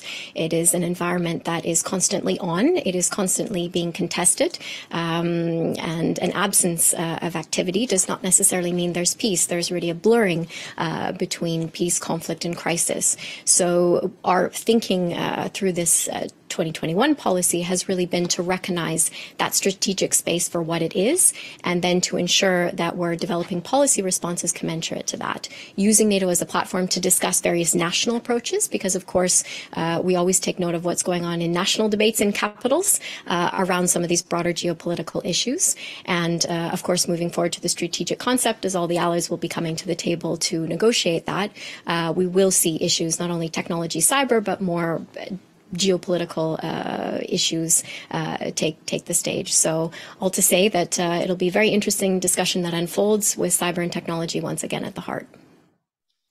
And you mentioned earlier that a, a, response from NATO might not be limited to the cyber domain if there were a response to a, to a cyber attack. I'm curious how that would play out and sort of the, the intellectual discussions you're having at NATO headquarters about how, how the alliance would respond if it might not be a cyber attack for a cyber attack what the other options might be.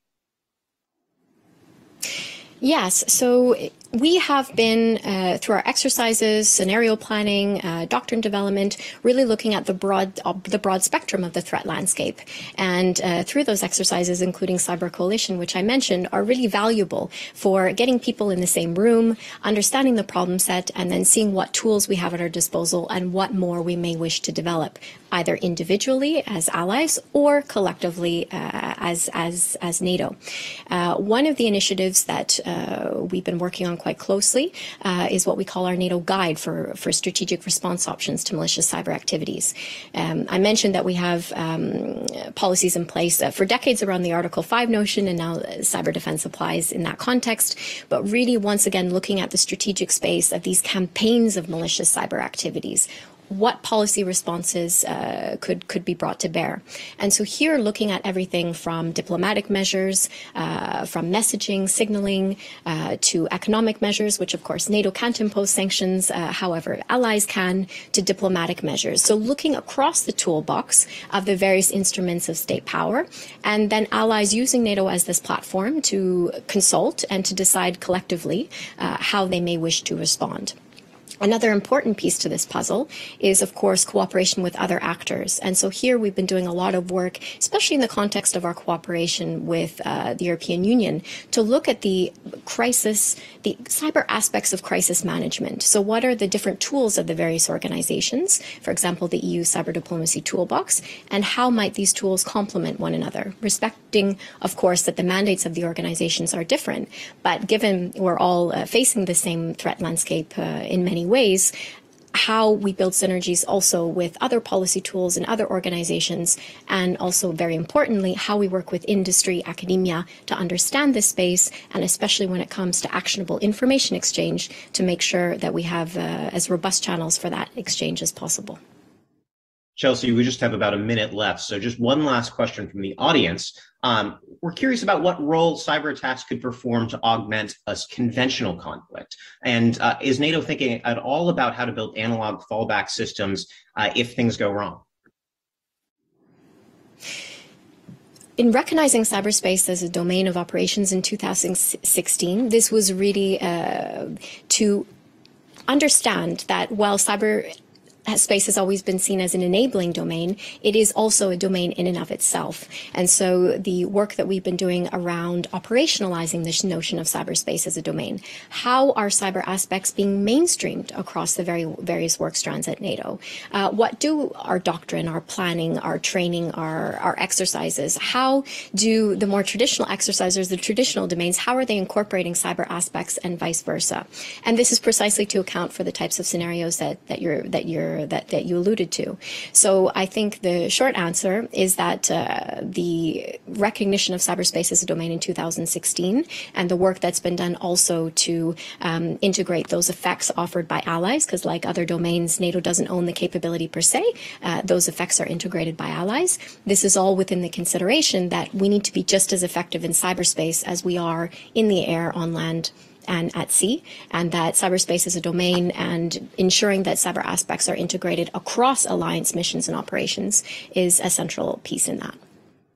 Well, I think we're going to have to leave it there. Thank you so much, Chelsea, for your time. And just as we've been talking about new and emerging technology threats, uh, we're going to focus on in our next segment what policymakers and other global leaders should know as they're looking at new technology front- frontiers, such as artificial intelligence, and how we ensure that powerful tools can be leveraged for positive social impact. So, to moderate our next panel, I'm happy to welcome to the forum veteran journalist and former CNN anchor Maggie Lake.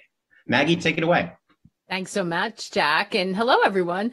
Before we start with our next panel, I would first like to welcome Annelise Riles to the stage. Annelise is the executive director of Northwestern University's Roberta Buffett Institute for Global Affairs. They're working on taking global and multidisciplinary approaches to solving some of the world's most pressing challenges. And you can be sure technology has certainly been one of the focus areas. Annelise, thanks so much for being here. Thanks for having me. So, you know, we are living in what many are calling the exponential age. You know, new technologies are advancing at such a rapid pace. How are academic institutions uniquely positioned to take the long view on, on issues like the development of tech regimes? What can what can they bring to the table? Well, it's interesting. Um, you know, we uh, are not beholden to business cycles. We're not beholden to election cycles our charge is really to think about the big picture and the long view. And also remember that we are the site of training the next generation of global leaders. And so we also have the opportunity to aggregate and elevate the voices of youth in these conversations. And then I think the third piece is that, you know, universities are very locally rooted institutions. Uh, a lot of us have a place name like Cambridge or Oxford or California in our in our name but we're also deeply globally networked. Uh, we've been working together for generations across uh, political divides, across cultural differences, linguistic divides. And so we bring that networked global uh, approach. Uh, and um, and we're really talking much more now about seeing ourselves as a, a global actor, like um, like nation states on the stage, that can provide uh, a coordinated uh, a coordinated answer to some of these global challenges. And and in particular, we at Northwestern are the hosts of something called the U7 Plus Alliance of Global Universities, which is uh, an alliance of of um, about 50 of the top universities in the G7 countries and beyond, uh, working with multilateral organizations like the G7. And uh, technology and AI is one of our very top priorities. Yeah, and it's so needed because technology is is is cross border. It doesn't doesn't know or respect boundaries. So it's so critical to be having that kind of conversation. Um, how important is establishing a common set of digital innovation principles and ethics around technology? And, and, is that an area that you're looking at where you believe that universities and academia can really play a role? Absolutely. Um, we think that uh, what is really needed in this space now are some common global standards for the ethical development and implementation of AI, emphasizing the positive dimensions and hopefully addressing some of the challenges and that the best way of approaching that is from a global perspective that recognizes that different regions of the world, different levels of development have different technological challenges and needs. Mm-hmm. And that uh, universities, in particular, because we um, have nothing but the interests of the common global good at heart, can provide a platform for integrated global uh, standards setting. And so, one of the things that we've done with uh, the U7 Plus is to establish a new institute. We call it Haiku, the uh, AI Plus Lab for Human Centered AI for colleges and, and universities, uh, trying to develop those standards collaboratively across, across the globe. Yeah, so important to start building those bridges. I feel like time is of the essence as we see everything sort of exploding around us.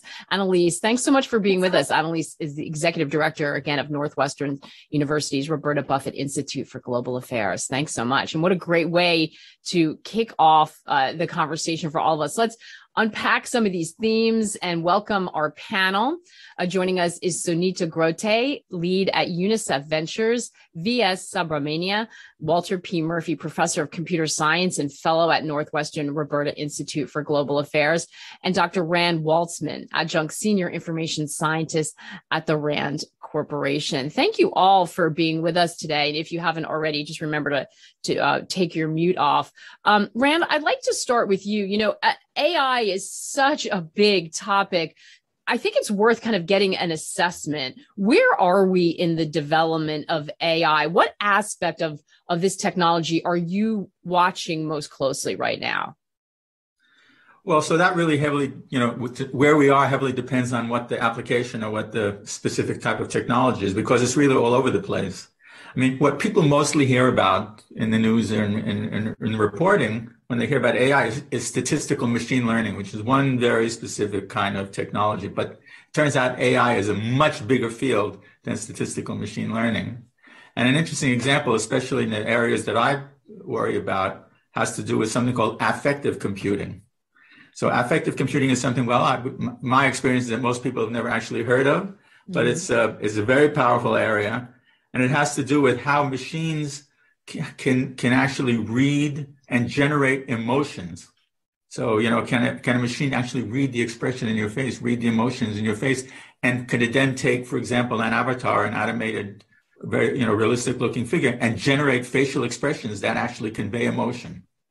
So there's a whole, and that's it was. Is that happening now? Is that actually? Yes, it's been around for a long. It's been around for a long time. The field. Uh. I mean, there's some very well-known groups, but these are not. They're not the popular things, but they will be. I guarantee you, because as we go into as the information environment evolves into what people call the metaverse, which, by the way, that term was introduced in 1992. So this is not a new term either. But uh, but I would say now people are starting to put really serious money into it. And so as serious money goes into it, it's I think it's on the verge of actually becoming the thing that people talked about since 1992 and actually before that. I mean, some of you may remember Second Life, for example, which was a long time ago. Yeah. Um, but but there exist environments in the gaming world. There exist virtual and reality environments and so on. But in those environments, you know, a machine, one of the things that AI is going to be able to do is actually to hold conversations with people for purposes, for not so nice purposes. I mean, disinformation, influence operations is about to come to an entirely different plane of existence than we've been familiar with it up to now. And some of the enabling technologies for that are, for example, affective computing techniques, among others. Well, well, that, that's a it's a kind of chilling statement because I I think we're all you know feeling the weight and the pain uh, and, and, you know the last year year and a half two years has really underscored the issue and problems with misinformation disinformation um, and, not not casual you know targeted uh, intentional uh, misinformation. Vs uh, so we we see these the the technology is advancing and, and as rand pointed out now you know we're knocking on the door of the metaverse now we all know about it not not just not just all of you.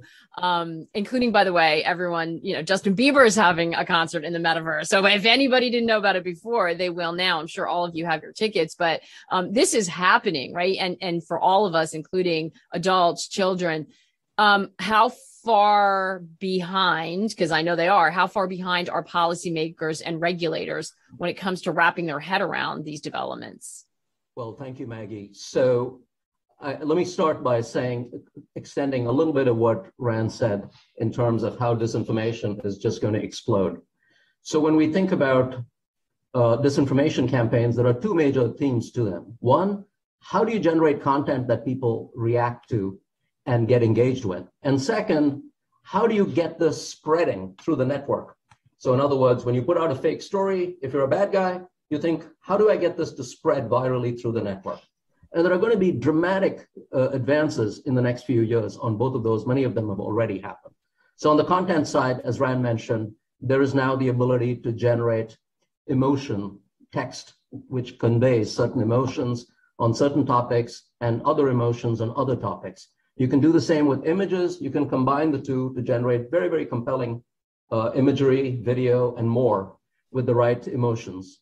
But in addition, the adversary is going to do a number of things. You know, the uh, uh, malicious hackers involved in these influence campaigns. Rather than do what they did many years ago, um, they're going to pre-position assets in the network, embed nodes in the network, uh, fake accounts, and so forth, that are intended to spread such news over an extended period of time. So these accounts are going to be sitting in these networks for years, perhaps, before they go live in a very active way they're going to continuously modify the attack surface. So today, techniques used to carry out, uh, to detect bots, fake news, assume that they are generated according to a certain model.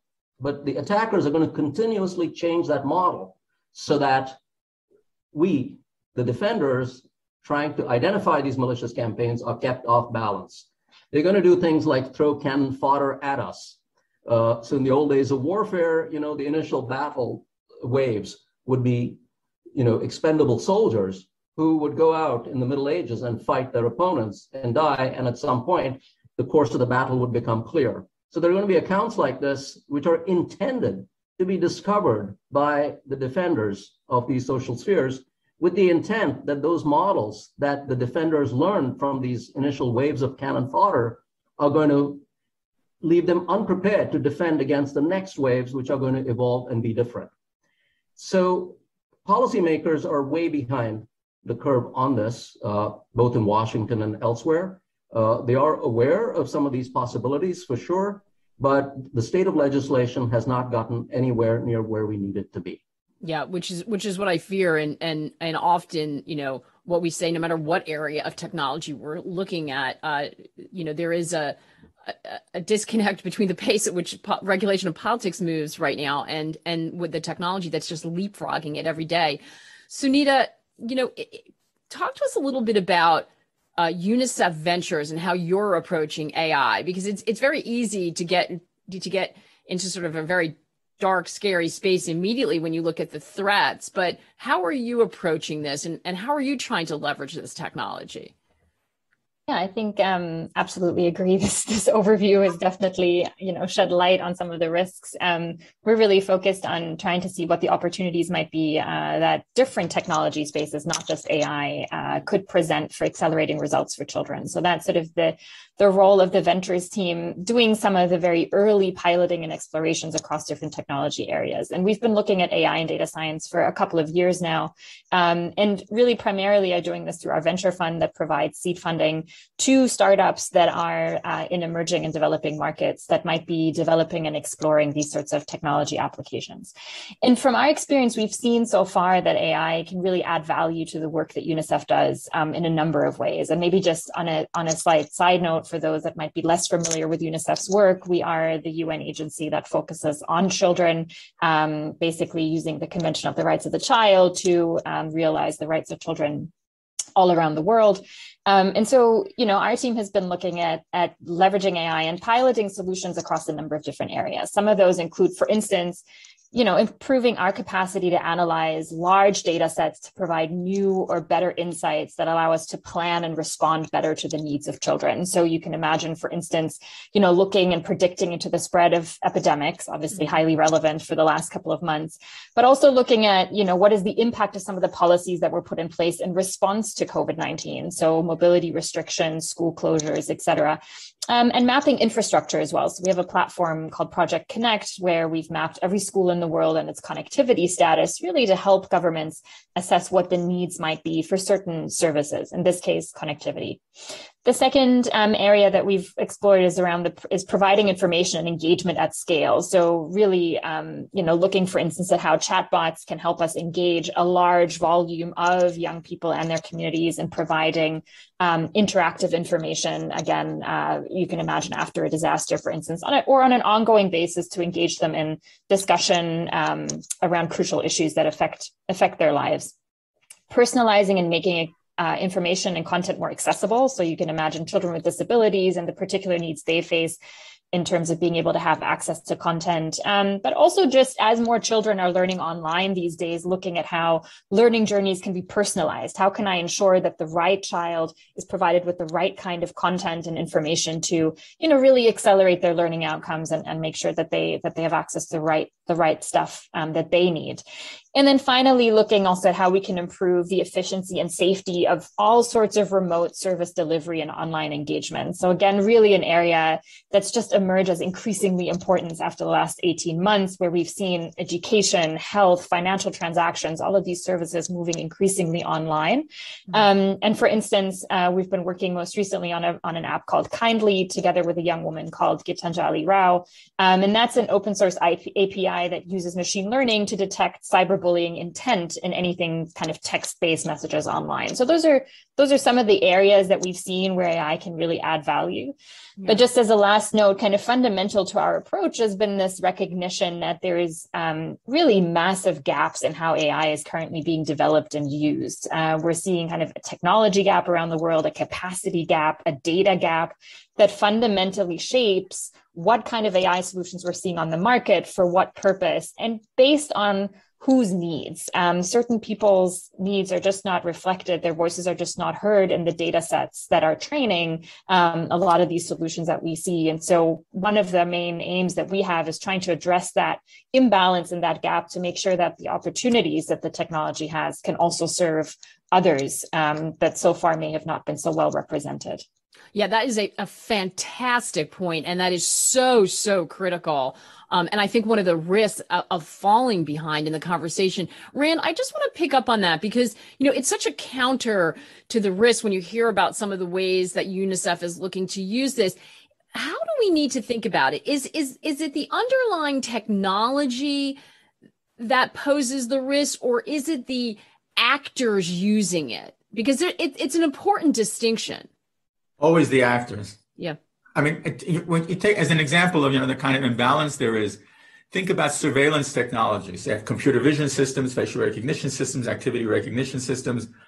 This technology is is huge, and one of the reasons is because the market of it for it is enormous. So I mean, we're talking about you know enormous sums of money being invested is because there is enormous markets uh, to buy the technology. So many people would consider uh, many uses of that technology not very positive. Of course, there are positive uses of surveillance technology as well. But um, one of the more interesting uh, applications of AI technology for, from a positive perspective was something in the 1980s during the last big wave of AI. You're now in the third wave. The second wave, which was in the 80s, um, the main theme was about the distribution of expertise, cheap, mm-hmm. low cost distribution of expertise. You know, in those days, they were called expert systems. And, um, you know, the idea was to capture human expertise, capture it in a program, and actually be able, then able to widely distribute the program, make the expertise available to everybody and anybody. So, for example, if you were in a you know in a third world country where you didn't have any doctors, could you actually have systems that could help do diagnoses mm-hmm. automatically? Or I mean, one of the most popular systems of the day was something that that analyzed loans for banks, for example. So we had a few people, key people, who really understood about you know deciding loans, and you had all these junior people sitting in the branches. Well, they made an expert system at the time that you know uh, somebody in a branch could use that walked them through and helped them do the analysis. So you know they they took you know one person's expertise and made it distributed to large numbers of people. Yeah. So so that's another area. So uh, but again, it's a mixed bag. You can use these things. All these things are neutral. All this technology is neutral. It can be used for good, can be used for bad, can be used for everything in between. Yeah. So well, that's it, the real point. It, it is. It, it's so important to say that. But VS, when we look at the on the policy side, and again, I think this is where multilateral organizations, universities, academia can kind of mm-hmm. plug in and be a bridge. Because when you look at the regulation, when you look at policy around it, we have a tendency to demonize the technology, which confuses people, and and and then you kind of create this battle with private companies uh, and and it, you know who say you're stifling innovation and and we get nowhere. You know how, how do we break through that that problem so that we can mitigate the risk without stifling innovation and make sure we're all talking about the right thing? Because there are positive uses. Uh, that's right maggie. So again you know i want to reiterate the point that rand made. It's usually not the technology that's good or bad. It's the intent of the actor who uses that technology in a specific use case. So yes, so there are, you know, so let's take an example with fakes. So I think we all agree that fakes are bad. Um, you know, there are, you know, we don't want fake handbags. We don't want fake news. Fakes are bad. Fakes are bad. We hear this all the time. But fakes can also be used for good. And let me give you an example of theft of intellectual property. So we hear reports about theft of intellectual property from US companies virtually every day. Okay. And um, so if you're a US company, you can now use technology that we've developed, that others have developed, that take intellectual property being developed within the country to generate multiple fake versions of a document that resides within the company's networks. So think you're a researcher or a scientist or an engineer for a major corporation. You're developing some valuable invention. So you generate the invention, but then there are systems that will work with you to generate, say, 99 fake versions of the invention. Okay? Is that good or bad? Well, when the attacker, a cyber attacker, comes and steals this information from your company, they now have to incur significant costs to separate the real document from the fake ones. And that is a good use of fakes. It's a use which only imposes costs on individuals who are carrying out an offensive cyber action. So AI is used to generate these kinds of things. Let me give you another example. Um, malware.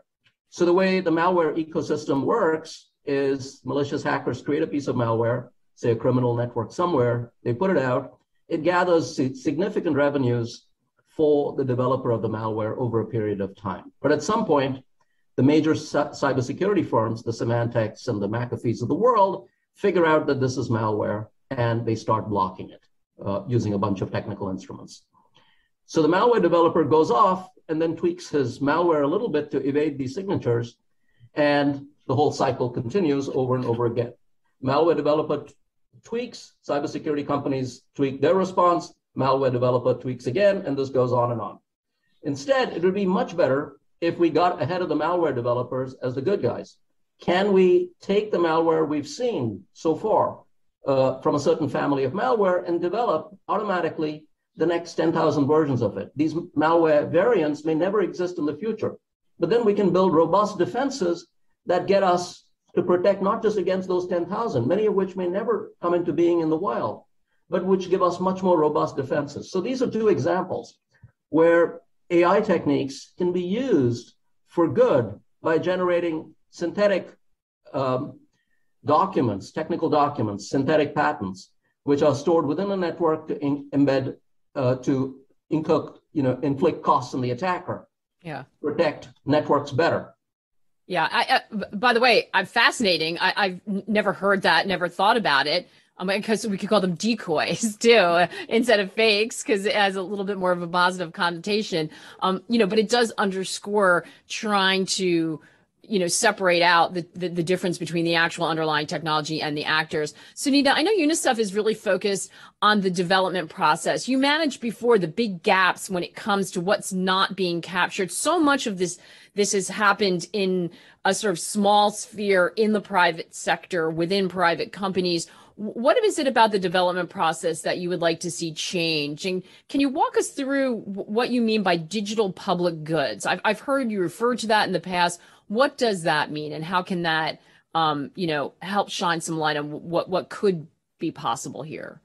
Yeah, um, absolutely. So, you know, we as a team and, and our venture fund has always taken the approach of investing or providing support exclusively to open source um, solutions. And that's really based on, on 10 plus years of experience of having piloted solutions and, and scaled those solutions across our programs, um, again, across different technology areas.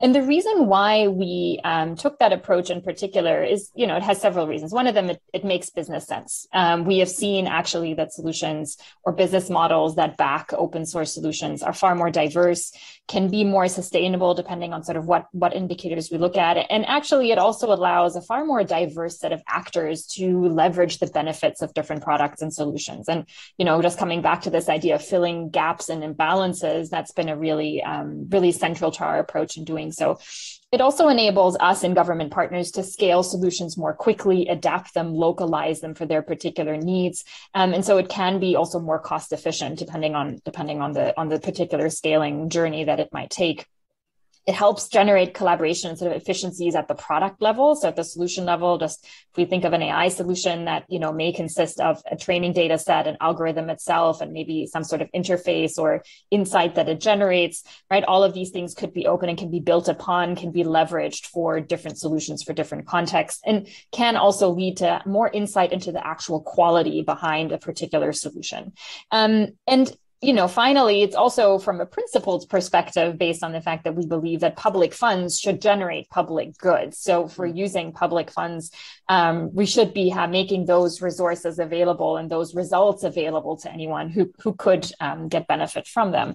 And this term, digital public goods, um, refers specifically to um, a term that's been endorsed by the UN Secretary General in his ro- roadmap on digital cooperation. And it acknowledges that currently access to digital technologies and therefore their potential in accelerating achievement of the sustainable development goals is really hampered by um, a lot of the the fact that a lot of those solutions are closed they're inaccessible to those that, who need them most. And so he's put out a call to various stakeholders to make more available digital solutions data sets algorithms content um, as open source solutions so that we can really come together to accelerate the sustainable development goals um, and their achievement in the timeline in the time that we have. And so we've been um, very pleased and very proud to see that really you know our experience experience has been kind of uh, has has informed that approach, um, and that mm-hmm. we're seeing that being picked up at a global level now. We, uh, together with the governments of Norway, Sierra Leone, and an Indian think tank called iSPIRT, launched what's called the Digital Public Goods Alliance, which aims to identify um, and scale digital public goods across the Sustainable Development Goals and really, there, the aim is to really highlight and make more visible and accessible these kinds of solutions, but also to fill the gaps that currently exist in that space from a technology point, from a, from a financing standpoint, and from a policy development standpoint. So, helping governments identify how can they, in their own engagement with their entrepreneurial ecosystems, encourage the development of these kinds of solutions according to these sorts of technical standards? How can they, when they look at public procurement processes, understand when and where the procurement of digital public goods might be to an advantage from a technology perspective, from a scaling perspective, um, but also from a value perspective in terms of being able to capture some of that value for local ecosystems and economic development. And so that's really where this term digital public goods um, comes in. And, and in our you know, understanding is really crucial to making sure that these solutions are more accessible and available um, across yeah. different contexts. That, that's incredibly important, incredibly important to have that alliance. Um, for anyone who wants more information on that, please, I'm sure that um, Sunita would be happy to share that because it is the beginning. We've seen the progress once you can coalesce around something and it is exactly where we need to be focusing our energy and the finance is so important so i encourage you to go go check that out. Rand um, we have a question coming in from patrick. How will ai and quantum computing impact disinformation challenges such as synthetic media? So so so i'm, I'm going to go back to the to the metaverse example or the, the situation right? So what I would say about that, first of all, is you know, you think you've seen problems with disinformation up to now. Well, believe me, you haven't seen anything yet. Because what one of the enabling technology, what the technology will enable in this kind of environments is very highly personalized, very highly targeted types of manipulation. So, for example, when I was talking about uh, affective computing, I mean, all disinformation, all of this propaganda and everything is all based on emotional manipulation, all of it. It has nothing to do with facts or reality or anything else. It's all about manufactured reality and manipulation. So any kind of technology that supports, guess what, emotional manipulation, which a lot of AI technology can be used for, is going to become a big problem. You know, it, it, it, let me ask you something, Rand. Um, having having spent a long time in the news and heard my fair share of complaints around this the news is always bad. You always tell about talk about disasters. You're trying to scare us. And you know that's what sells right? It was the headline of newspapers when print was in. It's the you know turn on any tv uh, you know, news channel now, and you're going to see a lot of that, um, and then maybe a little snippet of good news at the end. We, have done this forever. Is it is it scarier now because of what the technology, the speed with which this operates, and the fact there are so few checks on it? What makes this different and more perilous in your mind? Yes, it's it's it's a lot more deadly, more targeted, more effective. I mean, what changes is the scale, the, the speed, you know, spatial extent, temporal compression, all of these things, they, they introduce qualitative changes in what, what you can do. And so the problem is that, you know, okay, I'm, t- I'm telling people scary things. The problem is you say, well, that's what sells. Well, the problem is it doesn't sell. Mm. It doesn't sell at all. Because, for example, if you look at the mess we have in social media today, I mean, I ran a program at DARPA from 2011 to 15, and I was carrying on about this right now. Guess what? Nobody wanted to hear it. Yeah. Nobody was interested. I mean, I ran $50 million program. We great program. VS was part of it. You know, 200 publications and nobody in the government wanted to hear anything about it. They waited, they waited to, to even pay attention until it was way too late. So yeah, so the answer is it does not sell.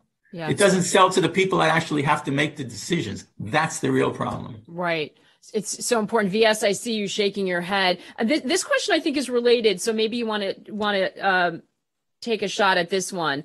Um, this one coming in from India. With a greater adoption of deep fake algorithms, how can we increase confidence in differentiating deep fakes from real footage? This is interesting, especially in creating falsified evidence. How can we equip the courts to be able to detect such attempts? Very important, again, given what we've seen over the past year and the importance of everyone with a smartphone and the impact that can make, not only in, uh, in, in legal cases, but in the court of public opinion.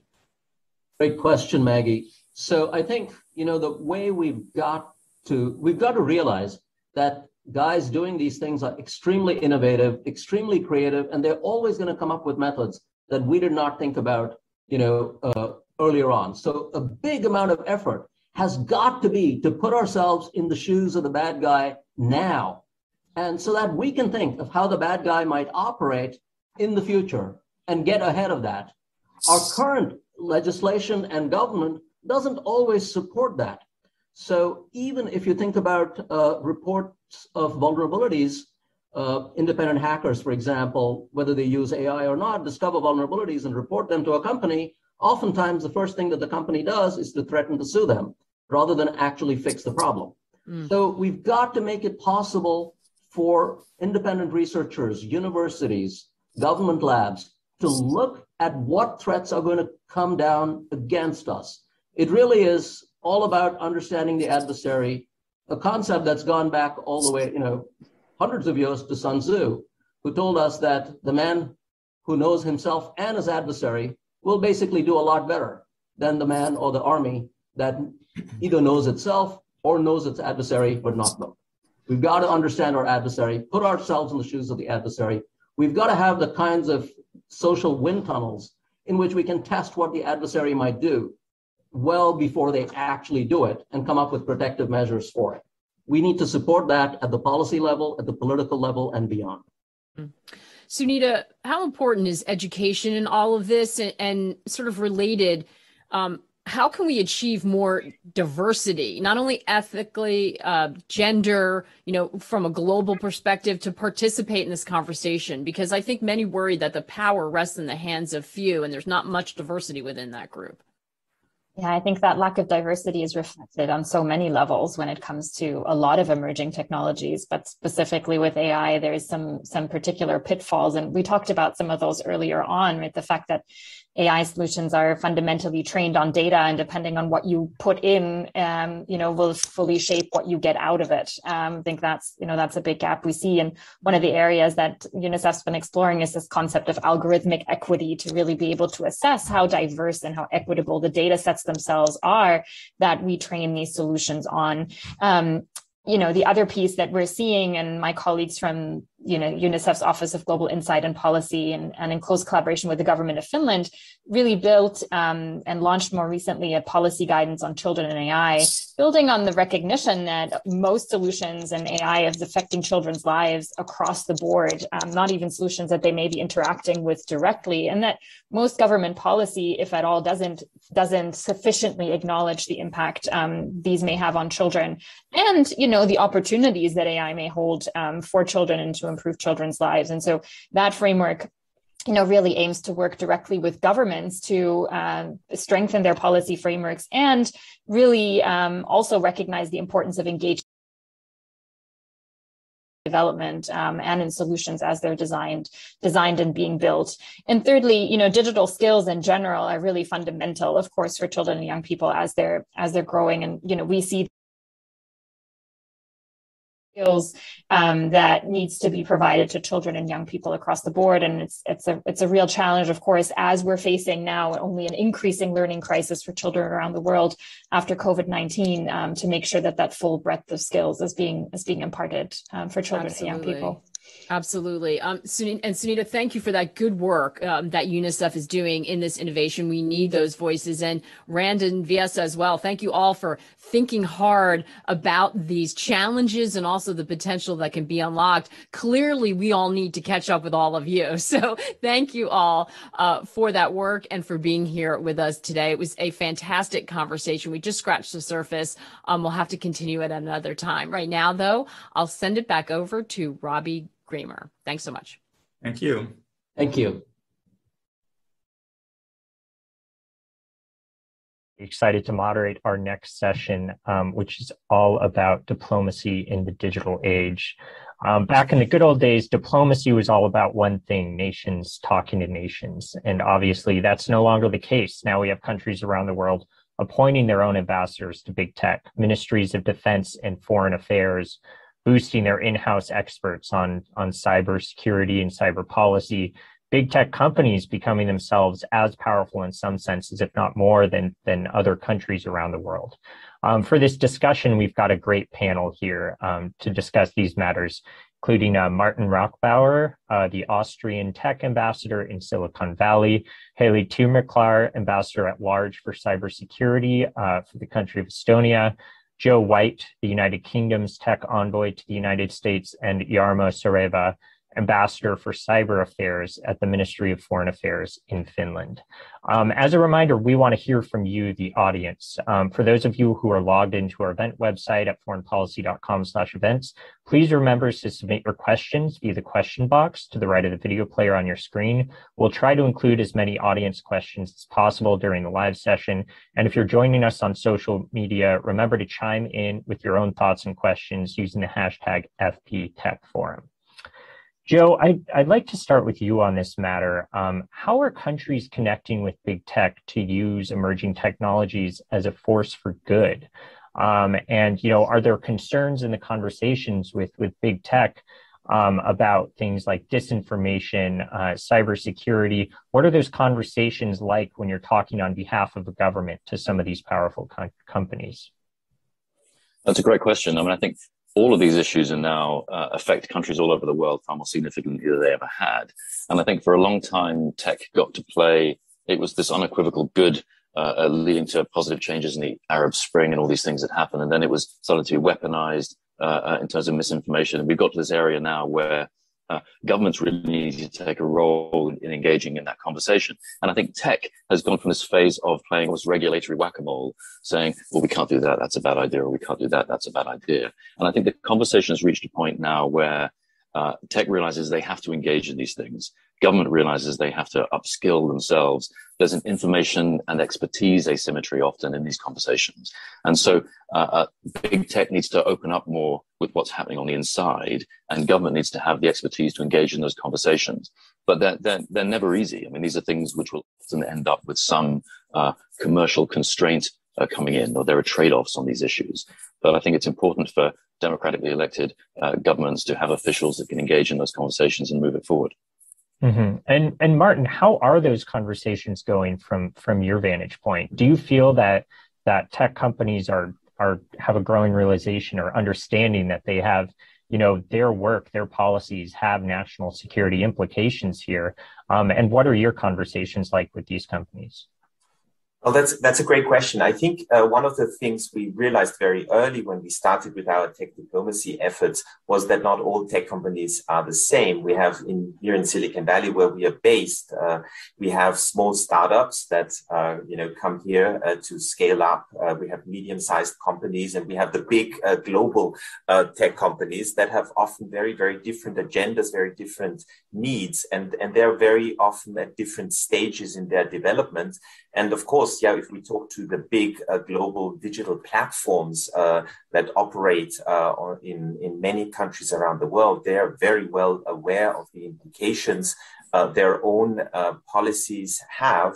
Sometimes it is them who make us realize in those conversations, you know, that some of the policy initiatives uh, we are contemplating that they sometimes have unintended consequences elsewhere in the world, which is a very interesting uh, aspect. And then, of course, we also uh, have conversations with uh, smaller companies um, and make them aware of what is going on in multilateral diplomacies, the kind of norms and values that are being formed um, in other places in the world. And they are very, very grateful for that to have this direct uh, access. And of course, also for us internally, um, uh, you know, tech diplomacy is also, as as Joe said, it's also a learning experience for us as diplomats. So uh, for us, we also need to engage in an internal coordination effort that is much better than what we used to do. We need to talk about the things going on here, uh, to talk with our colleagues in New York, uh, in Geneva, in Brussels, of course, um, and and Vienna, uh, in order to you know coordinate better. We have often, as diplomats, very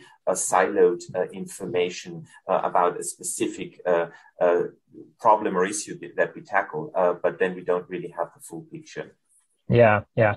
And Heli, I'd, I'd like to turn to you briefly. Obviously, um, Estonia is is no stranger to the to cybersecurity threats, um, given given one of your neighbors here.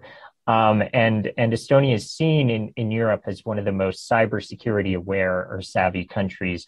I'm just wondering if you could talk about how um, your conversations go with with government and with private sector to try to increase cybersecurity resilience when it comes to potential cybersecurity threats, bad actors, um, geopolitical tensions that that uh, that erupt in in the cyber realm, and and if those conversations with with tech companies are are cooperative, if if there's any tension, or or if everyone seems to be on the same team, that there's that there's shared issues here that we need to tackle together.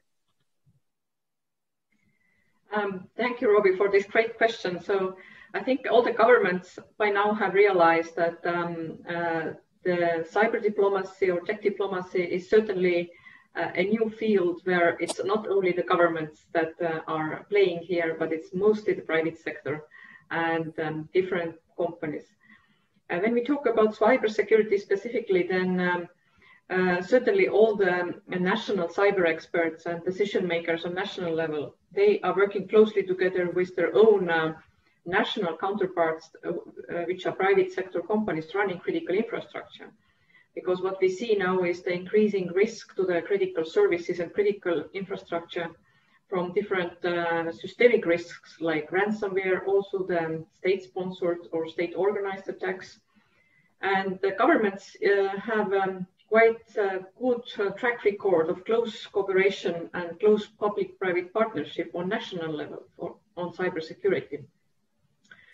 So um, uh, as it comes to the multinational um, framework, then we are certainly uh, now increasingly looking towards the solutions that the tech companies could provide in uh, making uh, sure that um, the software and hardware that we are using would be more secure. So we talk about security by design principles, for instance. We talk about the um, uh, notifications on zero-day exploits and vulnerabilities in the software. Uh, we know that um, majority of the serious attacks and incidents in, in the last 10, 15 years are um, coming from the exploitation of um, the loopholes in software. And uh, uh, the notorious uh, ransomware attacks, WannaCry and NotPetya in 2017, maybe being um, um, the most um, uh, serious ones and having uh, serious economic consequences, not just um, for the IT sector, but um, uh, different economic sectors globally. So one quarter of the uh, shipping industry was down for the week uh, in 2017 because of the major ransomware incident. So therefore, uh, we certainly realized that um, continue, continuous dialogue is necessary with the big tech that is pro providing us the domain, uh, the cyber domain, and um, is taking care of the innovation and research in this field so that the uh, security features would be already uh, integrated into the products that we see in the markets. And it's also applying to IoT products, for instance. Uh, we can uh, foresee there's a scenario when um, all the coffee machines and fridges will be connected to the internet in the future. So we might have coffee machine army and the fridge army suddenly. So we don't want to see the coffee machines attacking fridges. So it's better if we have um, security by design integrated into those IoT devices. Mm-hmm. Yeah, well, no one no one wants to uh, to put at risk our strategic coffee supplies. So so these are really important issues to go through. Just to quickly build on that point, if, if that's all right, I, I think yeah. the point about cultural change in software engineering processes there, where it, you know it's evolved from building stuff to building stuff and having automated bug testing in there to building stuff now to have automated security testing in there. And these are the pieces which need to change culturally in, in big tech. And one piece I heard the other day uh, from one of the uh, uh, uh leaders of software within Salesforce was about building some of these um, democratic or bias-based security or safety features as part of their engineering process. So you have the bug bit where you remove the bugs, you have the security bits where you plug the holes, and then you have the unexpected consequences of bias bits, which is then a, a, testing and analysis framework before the code actually goes live. So I think these are the things we need to start to factor into how we consider building software, both security, safety, and of course, functionally. Yeah, yeah, that that's really interesting. I'd I'd like to dive a bit more into that. First, Yar- Jarmo, I I, want, I did want to go to you. I mean, you know, during the the pandemic era when when everyone's interactions have basically been over over Zoom. We've seen the true impact of living in a mostly digital world. So I'm just wondering what what are some lessons that that from your perspective where governments are are trying to learn, trying to incorporate into their planning to ensure that that tech is used in a more beneficial way here? Well, um, the first uh, first lesson uh, really is that uh, uh during the pandemic, and the leap that we all took, the uh, digital divide uh, actually became uh, wider than uh, pre-pandemic. What I'm, I'm referring to is the uh, uh, divide between the, the first world and the developing world, but also the divides within societies. Um, between, in many countries, between men and women, and between the um, uh, well off and the uh, disadvantaged. So we need to make sure that um, um, from here on, uh, governments um, and uh, uh, global organizations, or the European Union for that matter, uh, which feels a lot of um, clout in the development field, make sure that we um, we embark on a path to narrow these uh, digital uh, divides. Uh, that's that's really essential. And of course, um, another lesson is that the the leap that we took and the dependence on digital communications um, puts um, an ever greater need for uh, for digital trust and security. Um, but in, in a more general way, um, if we are to reach uh, the Sustainable Development Goals and to make life better for everybody globally, um, we uh, we cannot reach those goals uh, without uh, digital tools and emerging technologies. And for that to happen, um, the digital uh, space uh, must be uh, safe and, and, secure, and of course, open and free. Mm-hmm. Mm-hmm. So, so we're starting to get some audience questions uh, coming in. I'd, I'd, like to start with uh, Eugenio, who's a who's a tech diplomat with the Brazilian consulate in San Francisco. He asks, um, and this is a question, it, it, seems, for Martin and Joe. Um, Martin, I'll start with you. Um, for governments willing to strengthen their tech policy dialogue with, with big tech companies in Silicon Valley and beyond, what advice would you give to them? That's a, that's a great question. I think uh, what you need to uh, do is that you uh, strengthen, uh, first of all, uh, your internal um, coordination efforts, that you, in some ways, uh, talk to civil society uh, that you uh, also uh, look at the different areas of your foreign policy that is affected by digitalization. that can range from the geopolitical aspects of digitalization to the human rights aspects of digitalization, uh, to the actual uh, digital tools that you uh, employ um, as diplomats, you know, in dialogue with your citizens, and then you formulate uh, your, your concrete goals and your strategies. And in the case of tech diplomacy here in Silicon Valley, I think uh, what we really do is trying to get a private sector uh, perspective uh, to uh, back and feed them into our government structures, as well as getting um, uh, our citizens' concerns and our citizens' values and interests and get and, and bring them into the dialogue with private sector companies. Mm-hmm. And and Joe, any uh, any other advice beyond, uh, yeah, beyond I, what Martin shared? No, I, I, I would agree with with what Martin said, lining things up. That the piece that then I think is is really required on governments is to upskill uh, themselves internally, as in the, the the the policy officials that are going to be engaging with big tech, and this is where uh, big tech can often have uh, uh, folks from government turn up and want to talk to them about their tech, which which they broadly don't necessarily understand. And so I think having technical experts inside government who can support those conversations. Uh, I mean, I've come into this post from 20 years in the private sector as an entrepreneur and a venture capitalist, and I think being able to engage in a conversation which can provide that translation layer for big tech through the policy world and have those technical conversations which are not um, embarrassing questions about uh, how email works, uh, which you occasionally see in some political forums. But so upskilling on the government side is crucial for these conversations to be meaningful for big tech and to not just appear as uh, as frustrations. Yeah, yeah, and um, we've we've that that's a great point, and and I'd love to hear uh, Heli and Jarmo's perspectives on that. I'm also going to fold in one more question. This is from Cole Allen um, at the Cyber Governance and Policy Center at the University of Oklahoma. Um, we've heard a lot about the private tech sector adopting international norms. What are the risks and rewards of these companies starting to set new norms within the evolving cyber environment? Um, and so that sounds like a question that drives to the heart of who should be in the driver's seat here on setting international cyber norms, government or private sector? And uh, I'd, I'd like to start with you on, on that. Well, I have um, spent last 15 years um, trying to make sure that the governments uh, have the norms and follow the norms. So uh, it's not easy, I can tell you. So we have been um, uh, uh, agreeing in the United Nations now in 2021 that yes, we have the norms, we implement the norms, and we follow international law as governments. So it has taken roughly um, more than 10 years to come to this uh, conclusion that all 193 governments now have signed up to this. We call it a normative framework or a framework for responsible state behavior in cyberspace. And um, uh, I think, uh, well, uh, there, there will be many books and articles about how this all happened uh, when I will retire.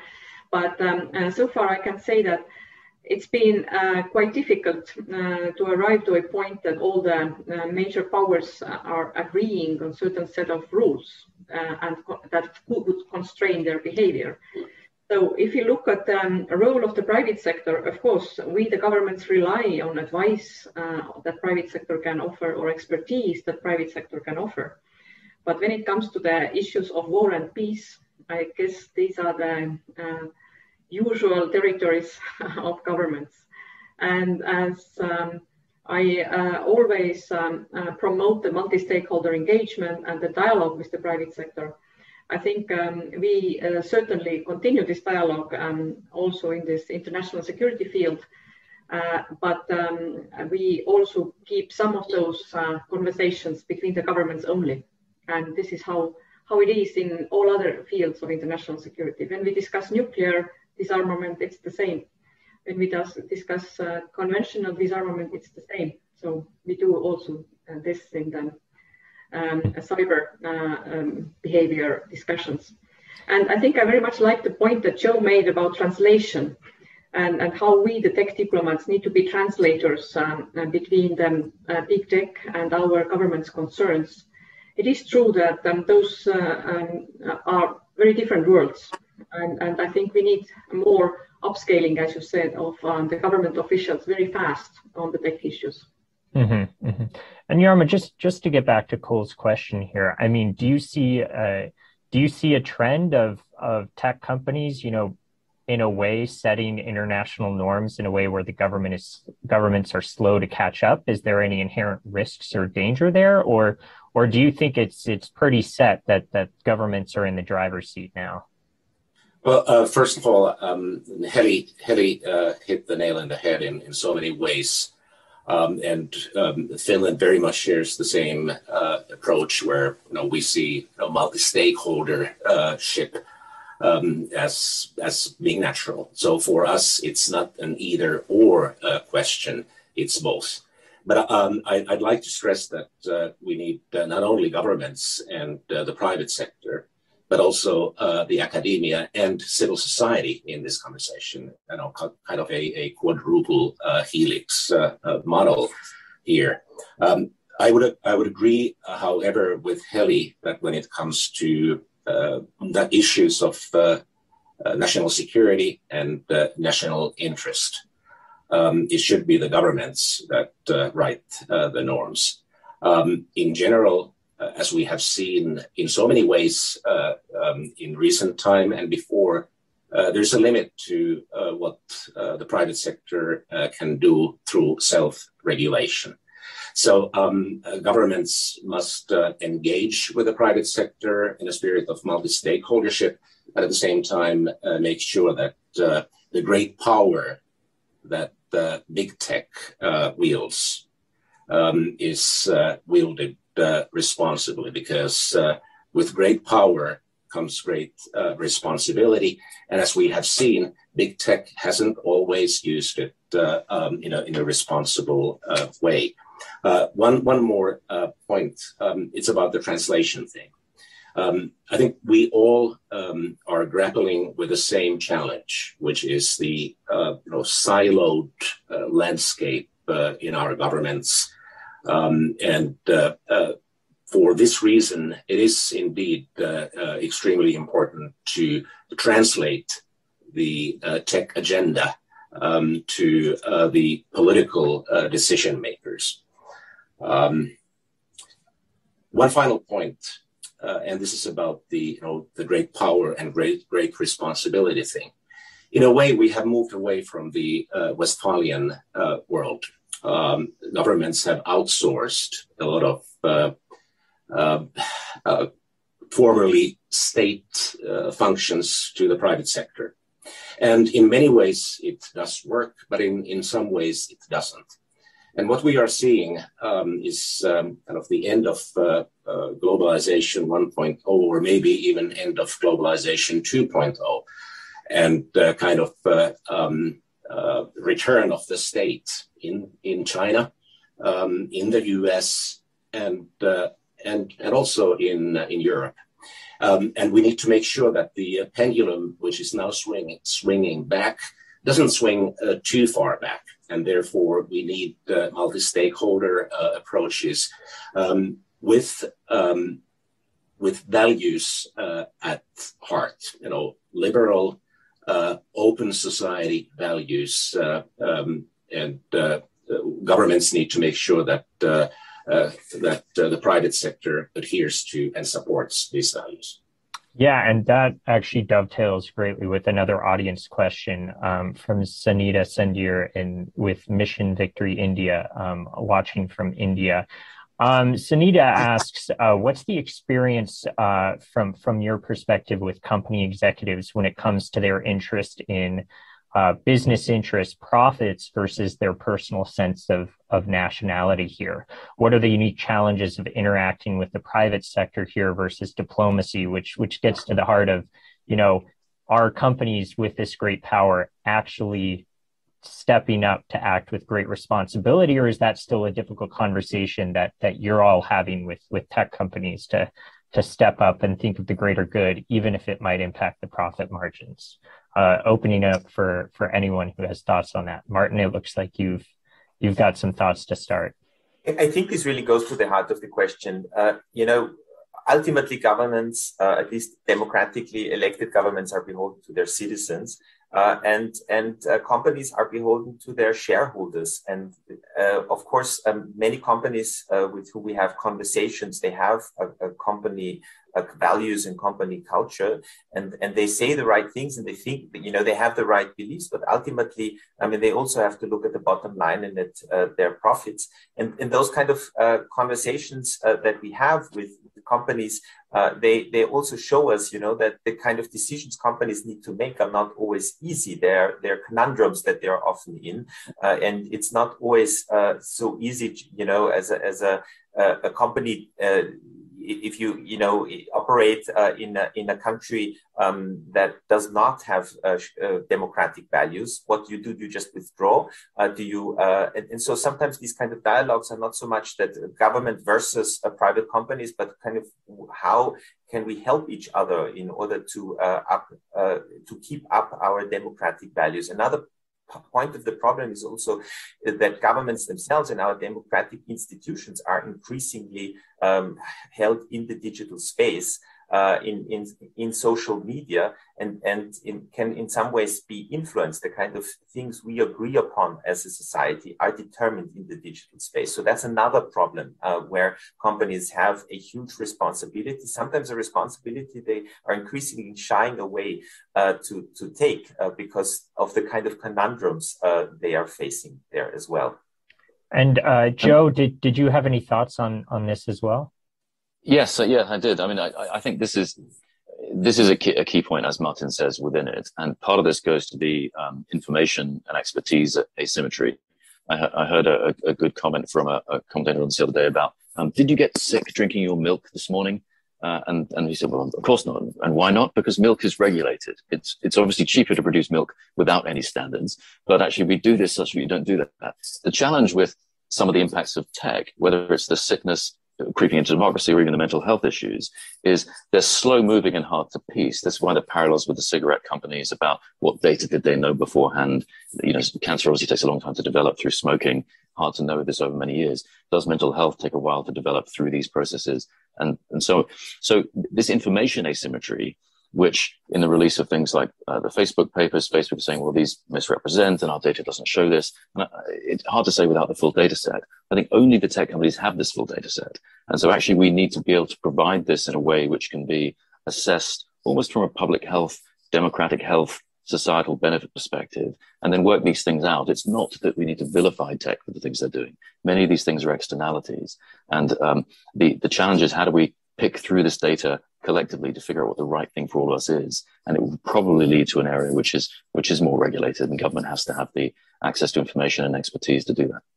Yeah, yeah. Well, um, unfortunately, we uh, we have to wrap up now. Um, but thank you to all of you for the such a fascinating conversation on some of those uh, big existential issues in the world of diplomacy, national security, and and tech today. Um, up next, um, uh, we've got a finale for our program, two more great sessions to explore how technology can be harnessed as a drivers for sustainable and equitable development, um, what it'll take to achieve tech-driven growth around the world. And here to moderate those sessions is Amelia Lester, who's executive editor of Foreign Policy. Hello, Amelia. I'll let you take from here. Hi, Robbie. Thanks for that. I'm delighted to take us into the final stretch of today's program. Uh, as you just shared, Robbie, we have two more really interesting perspectives coming up on the topic of driving digital development and growth. And first, I'm delighted to welcome to the virtual stage Her Excellency Dr. Amani Abou-Zeid, who is the Commissioner for Infrastructure and Energy at the African Union Commission. Let me quickly just go through a bit about Dr. Abou-Zeid's bio. She's the twice elected African Union Commissioner in charge of infrastructure, energy, and ICT. She has served in many leadership positions in international organizations and has implemented national and continental multi-sectoral developmental programs, including the world's largest solar power plant. She launched the single African air transport market, African single energy market, first African digital transformation strategy, as well as a 10-year program for infrastructure development in Africa. So she's she's been promoting these major continental initiatives for African integration under the African Union Agenda 2063. Welcome to the program, Commissioner. Hello, Amelia, and allow me at the uh, uh, at the beginning to thank you, to thank Foreign Policy for inviting me to uh, this very important, interesting forum. I have been uh, pinned to my screen uh, since uh, for a few hours now, looking into and following the uh, very interesting conversations and the distinguished panelists uh, panelists on this in this forum. Uh, really fantastic. Well, that, let's begin then by asking. What do people miss or fail to understand about the issue of digitization in Africa? Ah, that's a, that's a, a very interesting uh, question to start our conversation. Um, digital or digitalization is um, by nature is a game changer. And for us particularly in africa is a game changer for the african continent. Um, it is our opportunity to boost economic growth industrialization alleviate poverty improve people's lives.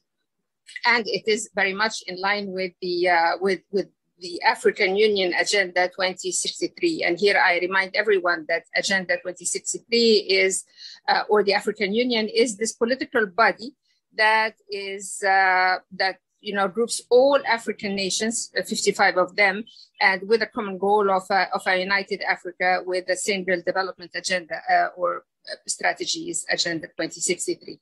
Now, what people uh, miss is that uh, the importance of digital economy in Africa. Uh, digital economy already contributes about 10% of African GDP. Uh, uh, we have about 300, more than 300,000 direct jobs uh, in mobile technology and more than 2 million jobs in uh, related uh, uh, uh, related to, to mobile technology or, or digital technology across the continent. Uh, uh, it's it's also the fastest penetrating. I mean, the, inter, the internet in Africa is the fastest penetrating in the world. I mean, it's it's ten times faster maybe than other parts of the world and. Um, we have 480 million mobile money accounts in, in, in Africa. That is more than all developing regions combined. Uh, Africa also has 640 tech hubs, uh, which are active across uh, uh the continent. So, uh, what I'm trying to say is that uh, what people um, what people seem to miss is that Africa is not sitting still. Africa is making giant leaps when it comes to digitalization, and Africa is already seeing the great potential and opportunity this technology is offering us in terms of uh, developing um, uh, uh developing solutions to adapt to our context and to our problems. Uh, I mean, I mentioned the mobile money. Let us just remind everybody that mobile money was invented by Africans in Africa.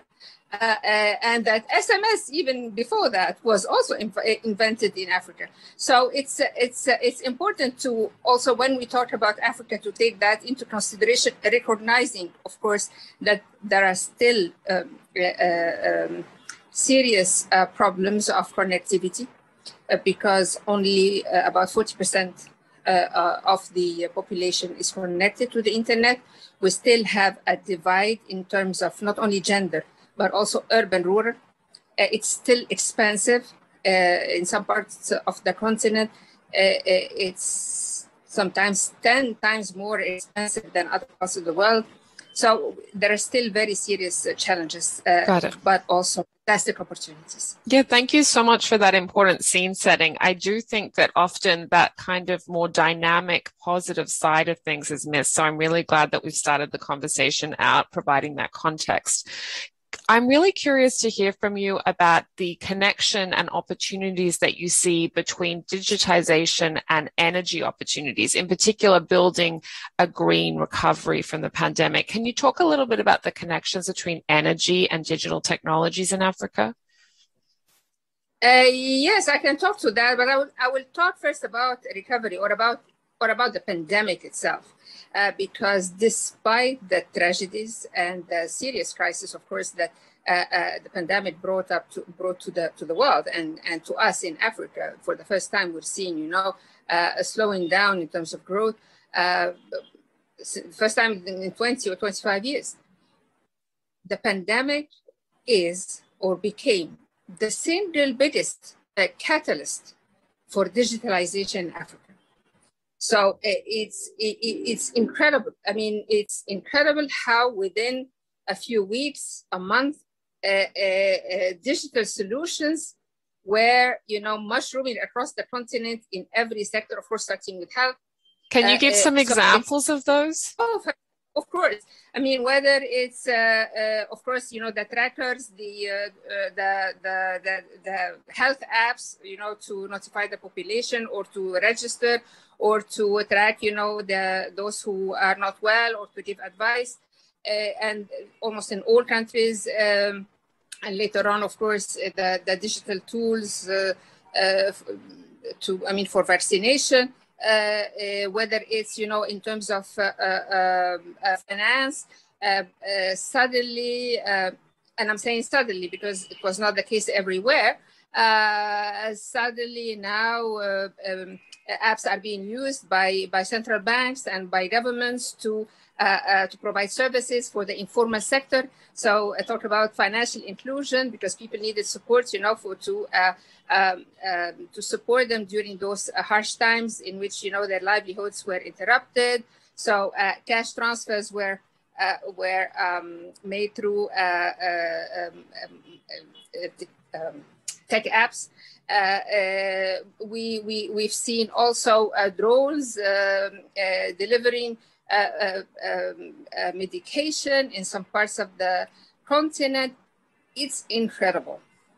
So, and, and moreover, and this is this continues as as we speak.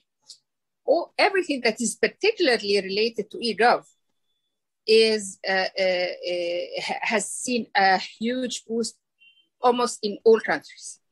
And the second is e-commerce. Whether you want to buy a, a, a pack of uh, uh, a box of tea or uh, you want to buy a car, you can do that now uh, through uh, the multitude of platforms uh, everywhere in the content from micro enterprises to to the big enterprises. Having said that, of course, not we have to remind ourselves that 65% of the economy of this continent is informal and that um, that not all enterprises or businesses have access to internet, uh, uh, maybe only 25%, but the growth in terms of growth, it's amazing. So that's um, fascinating. Just on that issue of, of the innovations that you've outlined that came as a result of the pandemic, I guess we also need to talk alongside that with the fact that the pandemic did expose a growing digital divide in terms of access. I think I've read that only about one third of Africans have access to broadband. Obviously, as these innovations continue and accelerate, that issue is going to become more acute. Can you talk about some ways in which investments need to be made to ensure that individuals and businesses and governments can get online in the next decade? Uh, absolutely. Uh, uh, th- that is why already since 2019, uh, in partnership with the European Union, with the World Bank and other partners, and together with the United Nations Economic Commission for Africa, we developed a, a digital transformation uh, strategy for the continent, uh, not to have these patchy or examples or these um, anecdotal examples. We wanted, you know, transformation to happen throughout the continent and to move together, even though we are not necessarily all at the same uh, level of development when it comes to digitalization, but at least we move together towards a common goal. So uh, it so happened that last year, uh, January 2020, the heads of states and governments adopted this strategy.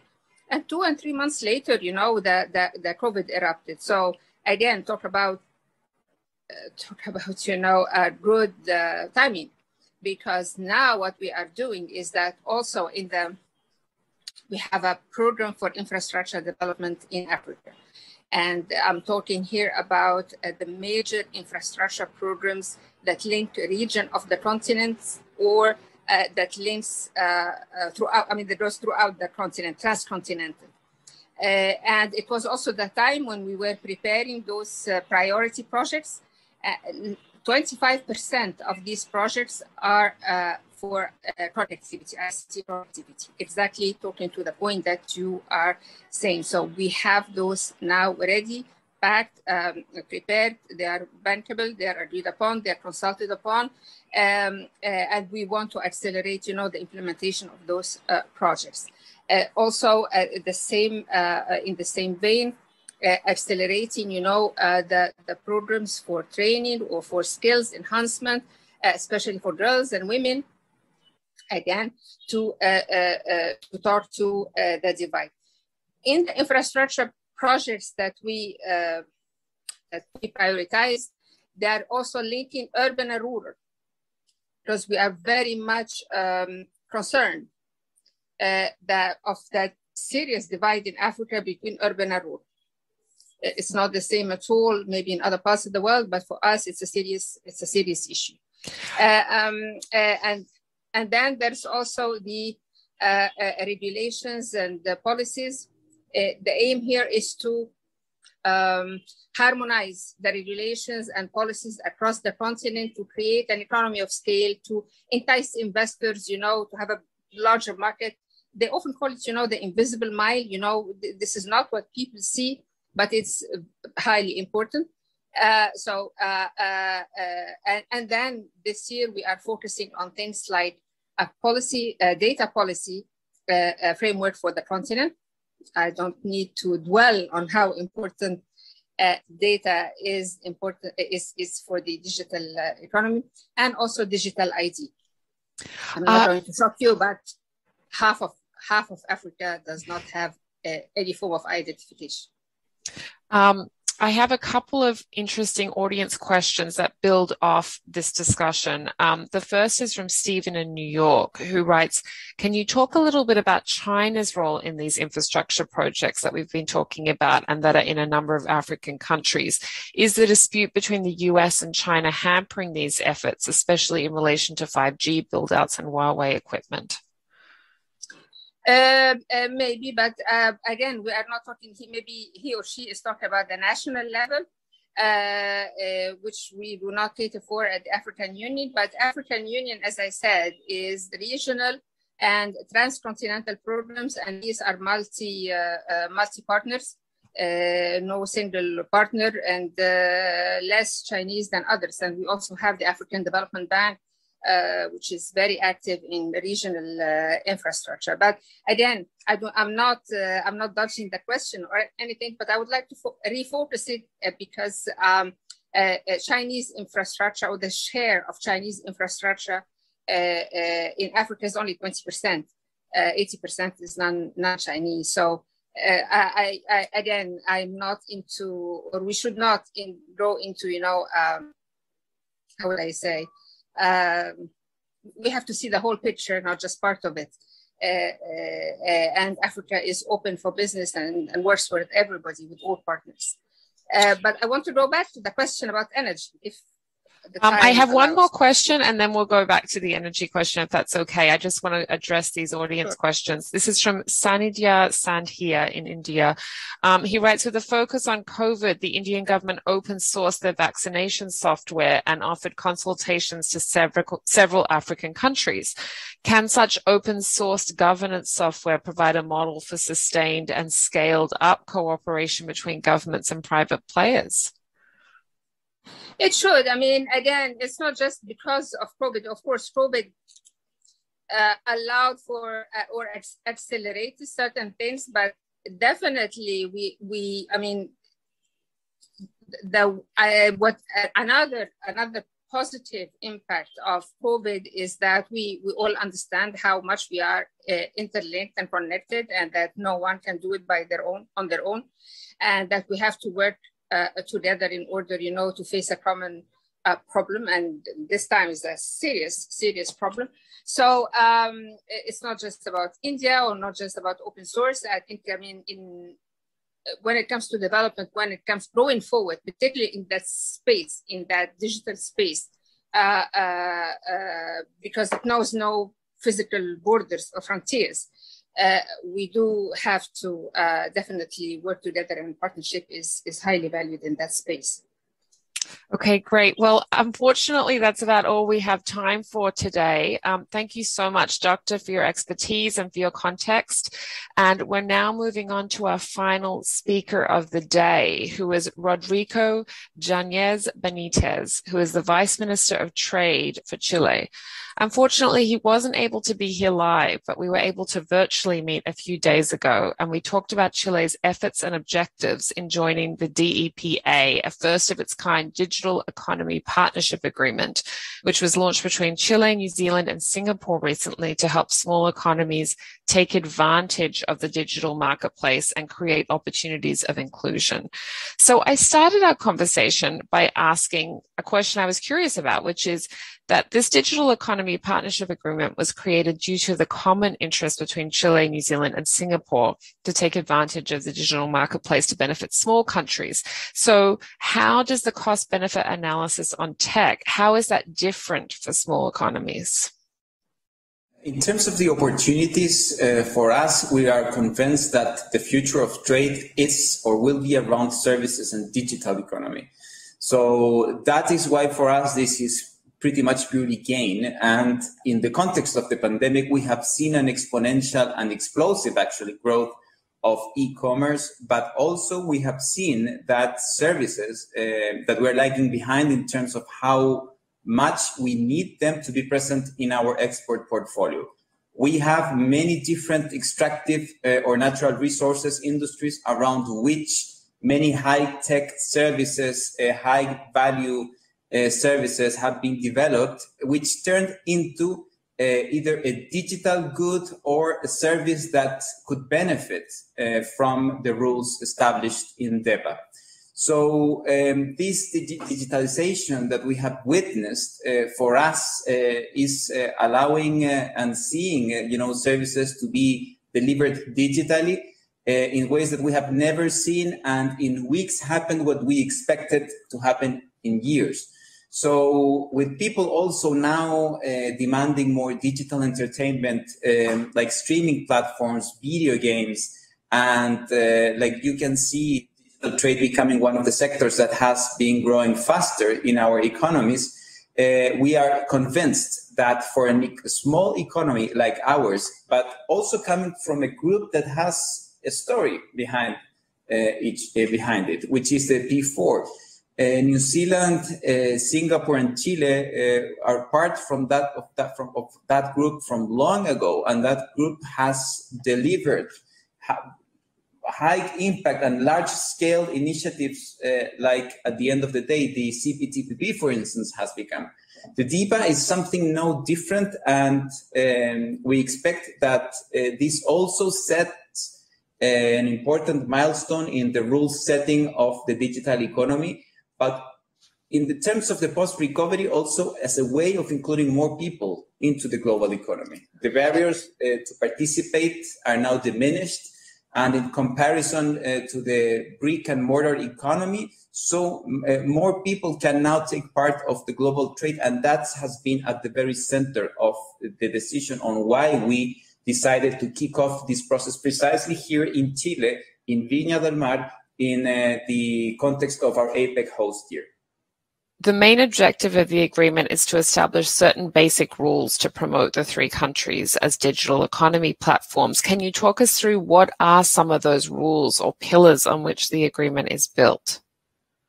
Well, first, the spirit uh, and the, the base uh, under which uh, or from which we started to work was uh, the obstacles for accessing digital commerce and uh, also the gaps that we have in connectivity.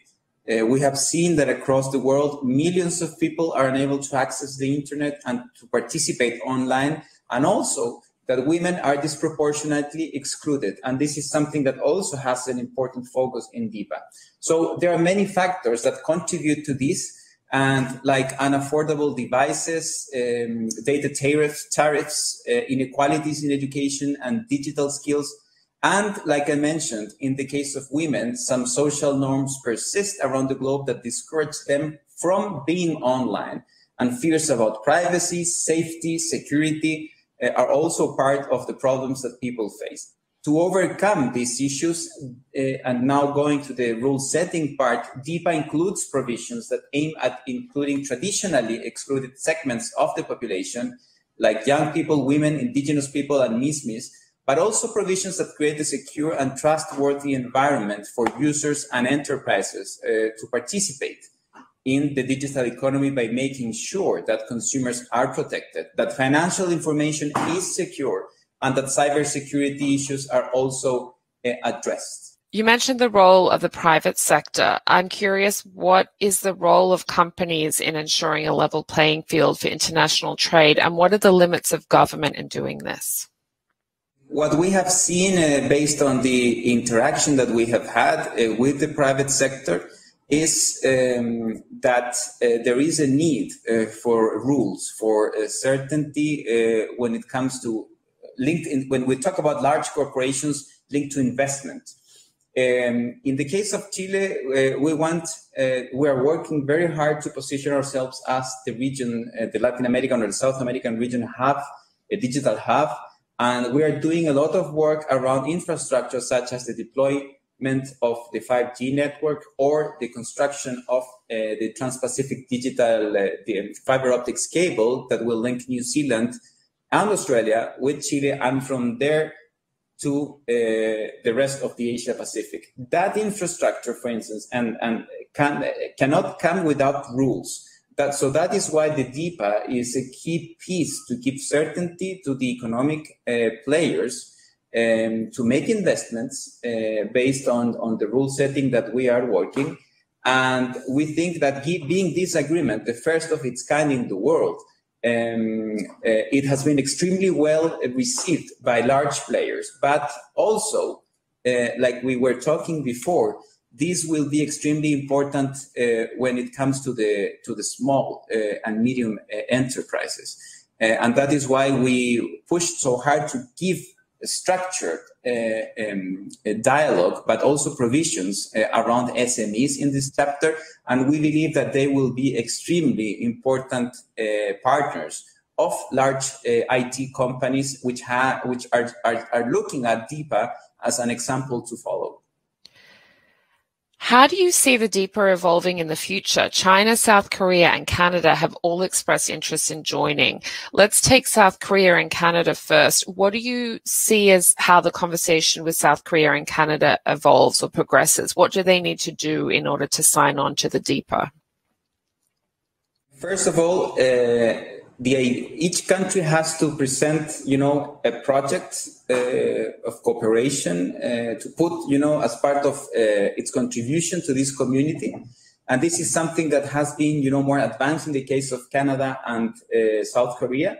With them also, we have had uh, several months of technical interaction between uh, our teams, and we welcome certainly that interest. So for us, it's very important to gain momentum and strategic weight um, when making these rules um, because we believe this will be the standard of digital trade. And uh, as we will do with other country, with the, during the process, with any other countries, excuse me, with uh, during the process of accession, um, we will support the intentions and fairly assess the application of all interested parties during the whole process.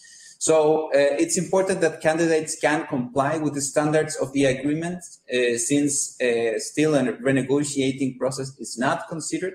But the idea behind is to continue being a forward-looking agreement that can attract partners that can commit on the disciplines, including in DEPA. This will serve to keep the internet as a global, competitive, and open platform uh, for innovation and creativity.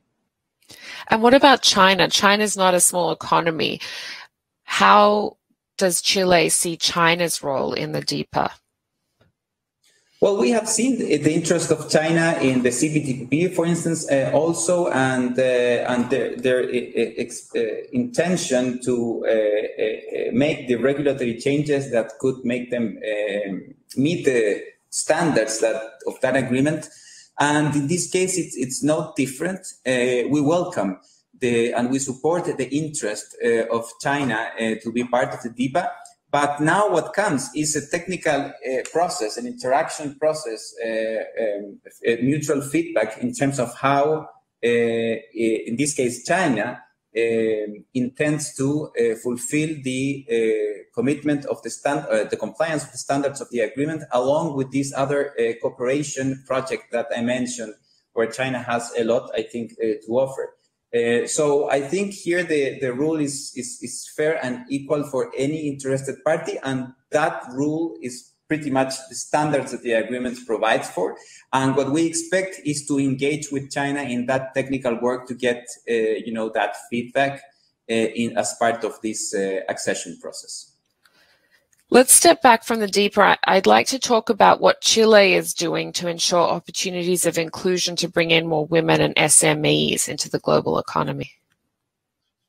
Well, coming from DEPA, uh, like, like I mentioned, we are really looking forward to implement this SME uh, module uh, uh, to take advantage of uh, the digital transformation as a fundamental instrument for economic uh, reactivation um, this agreement promotes sectors uh, like creative industries and e-commerce, which have played a fundamental role during the social distancing, uh, making it a priority uh, to develop initiatives that can favor their development uh, to accelerate recovery.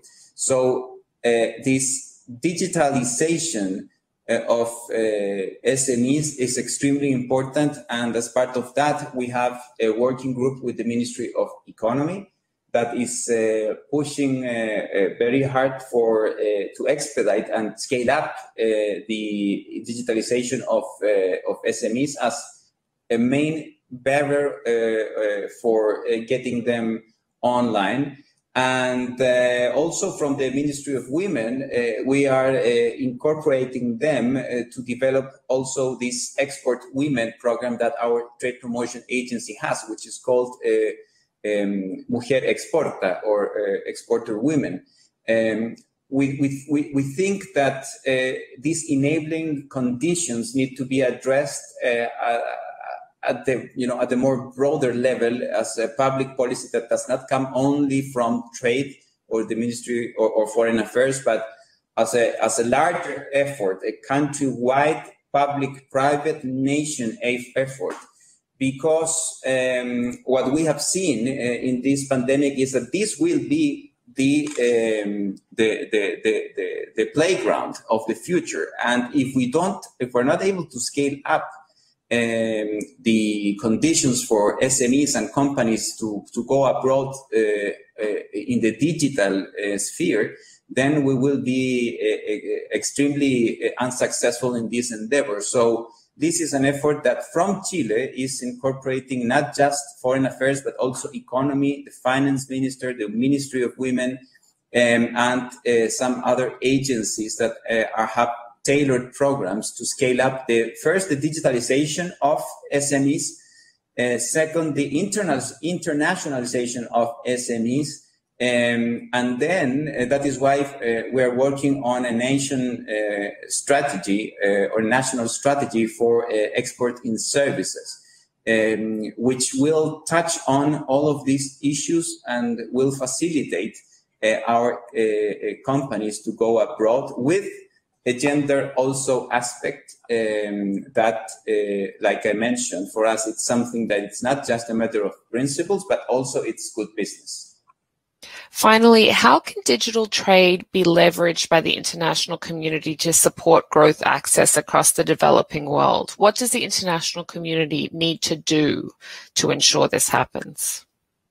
From a general perspective, we think uh, that the key point is leading by example.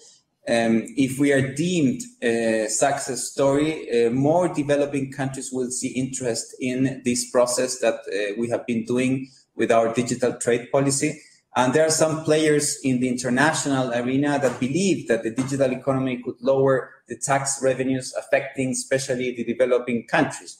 On the other side, uh, and Chile being also a developing economy, we estimate that the digital economy is an opportunity for our SMEs to grow and to access new markets, bringing benefits to our citizens. But uh, in the multilateral uh, arena, uh, we are looking with a very close eye also the negotiations on e-commerce, on the joint statement uh, initiative on e-commerce, which has gathered a large uh, uh, membership or WTO members under it. And so we're preparing and doing also the political push towards the MC12 that will take place in a few weeks' time, Uh, uh, hoping that we can uh, really push for uh, an expedited advance on, on that end. We think DEPA has a higher level of ambition, but nevertheless, you know, as, as, as, it includes a broader set of, of members, it's an extremely important uh, negotiation uh, as well uh, to follow and support. Vice Minister of Trade for Chile, Rodrigo Yáñez, thank you so much for your insights and time. Thank you very much to you all and have a very good day. Rodrigo Yáñez Benitez, who is Vice Minister of Trade uh, for Chile and past me, closing out today's program. It will be fascinating to continue watching the truly transformational impacts of all these new technologies, what they will do to the world economy, geopolitics, and how government and industry are going to behave and address opportunities and challenges over the coming years. FP will, of course, keep a clo- close eye on these trends, so stay tuned for more coverage and the excellent research coming from our FP analytics team as well. A big thank you to all of our speakers who have joined us for this inaugural FP Tech Forum and helping us bring these important conversations to life. And thanks as always to you, our global audience, for tuning in and engaging with us via Q&A and on social media. Please keep the conversation going using the hashtag FP Tech Forum. If you missed any part of today's program or want to rewatch, a recording of the event will be available shortly on our website, which is foreignpolicy.com slash events. Last but not least, I want to take this opportunity to thank our partners who have helped make our tech forum possible. And those partners are Microsoft, the Buffett Institute for Global Affairs at Northwestern University, and the European Liberal Forum. There's much more to come from FP this fall. November 30 is the Independent Media and the Advancement of Democracy event. USAID Administrator Samantha Power joins us to discuss the vital role of a free press and public interest journalism in ensuring the futures of democracies worldwide. And on December 1 and 2 is FP's third annual Food Plus Summit. It returns with an exciting two day program featuring top officials, experts, and leading innovators at the intersection of climate action and food security. We'll have conversations with policymakers, farmers, scientists, and celebrity chefs, so don't miss out on that program. And then finally, on December 8 is Great Power Plays in the South Caucasus. Against a backdrop of growing great power competition, shifting borders, and simmering tensions in the region, how can US policy best support political and economic economic engagement to shore up stability. You can find out more about those and other events and register at foreignpolicy.com slash events. And that is all for us today. I hope you enjoyed this event. I hope to see you again soon. And my name is Amelia Lester. I'm the executive editor of Foreign Policy. Take care. Until next time. Goodbye.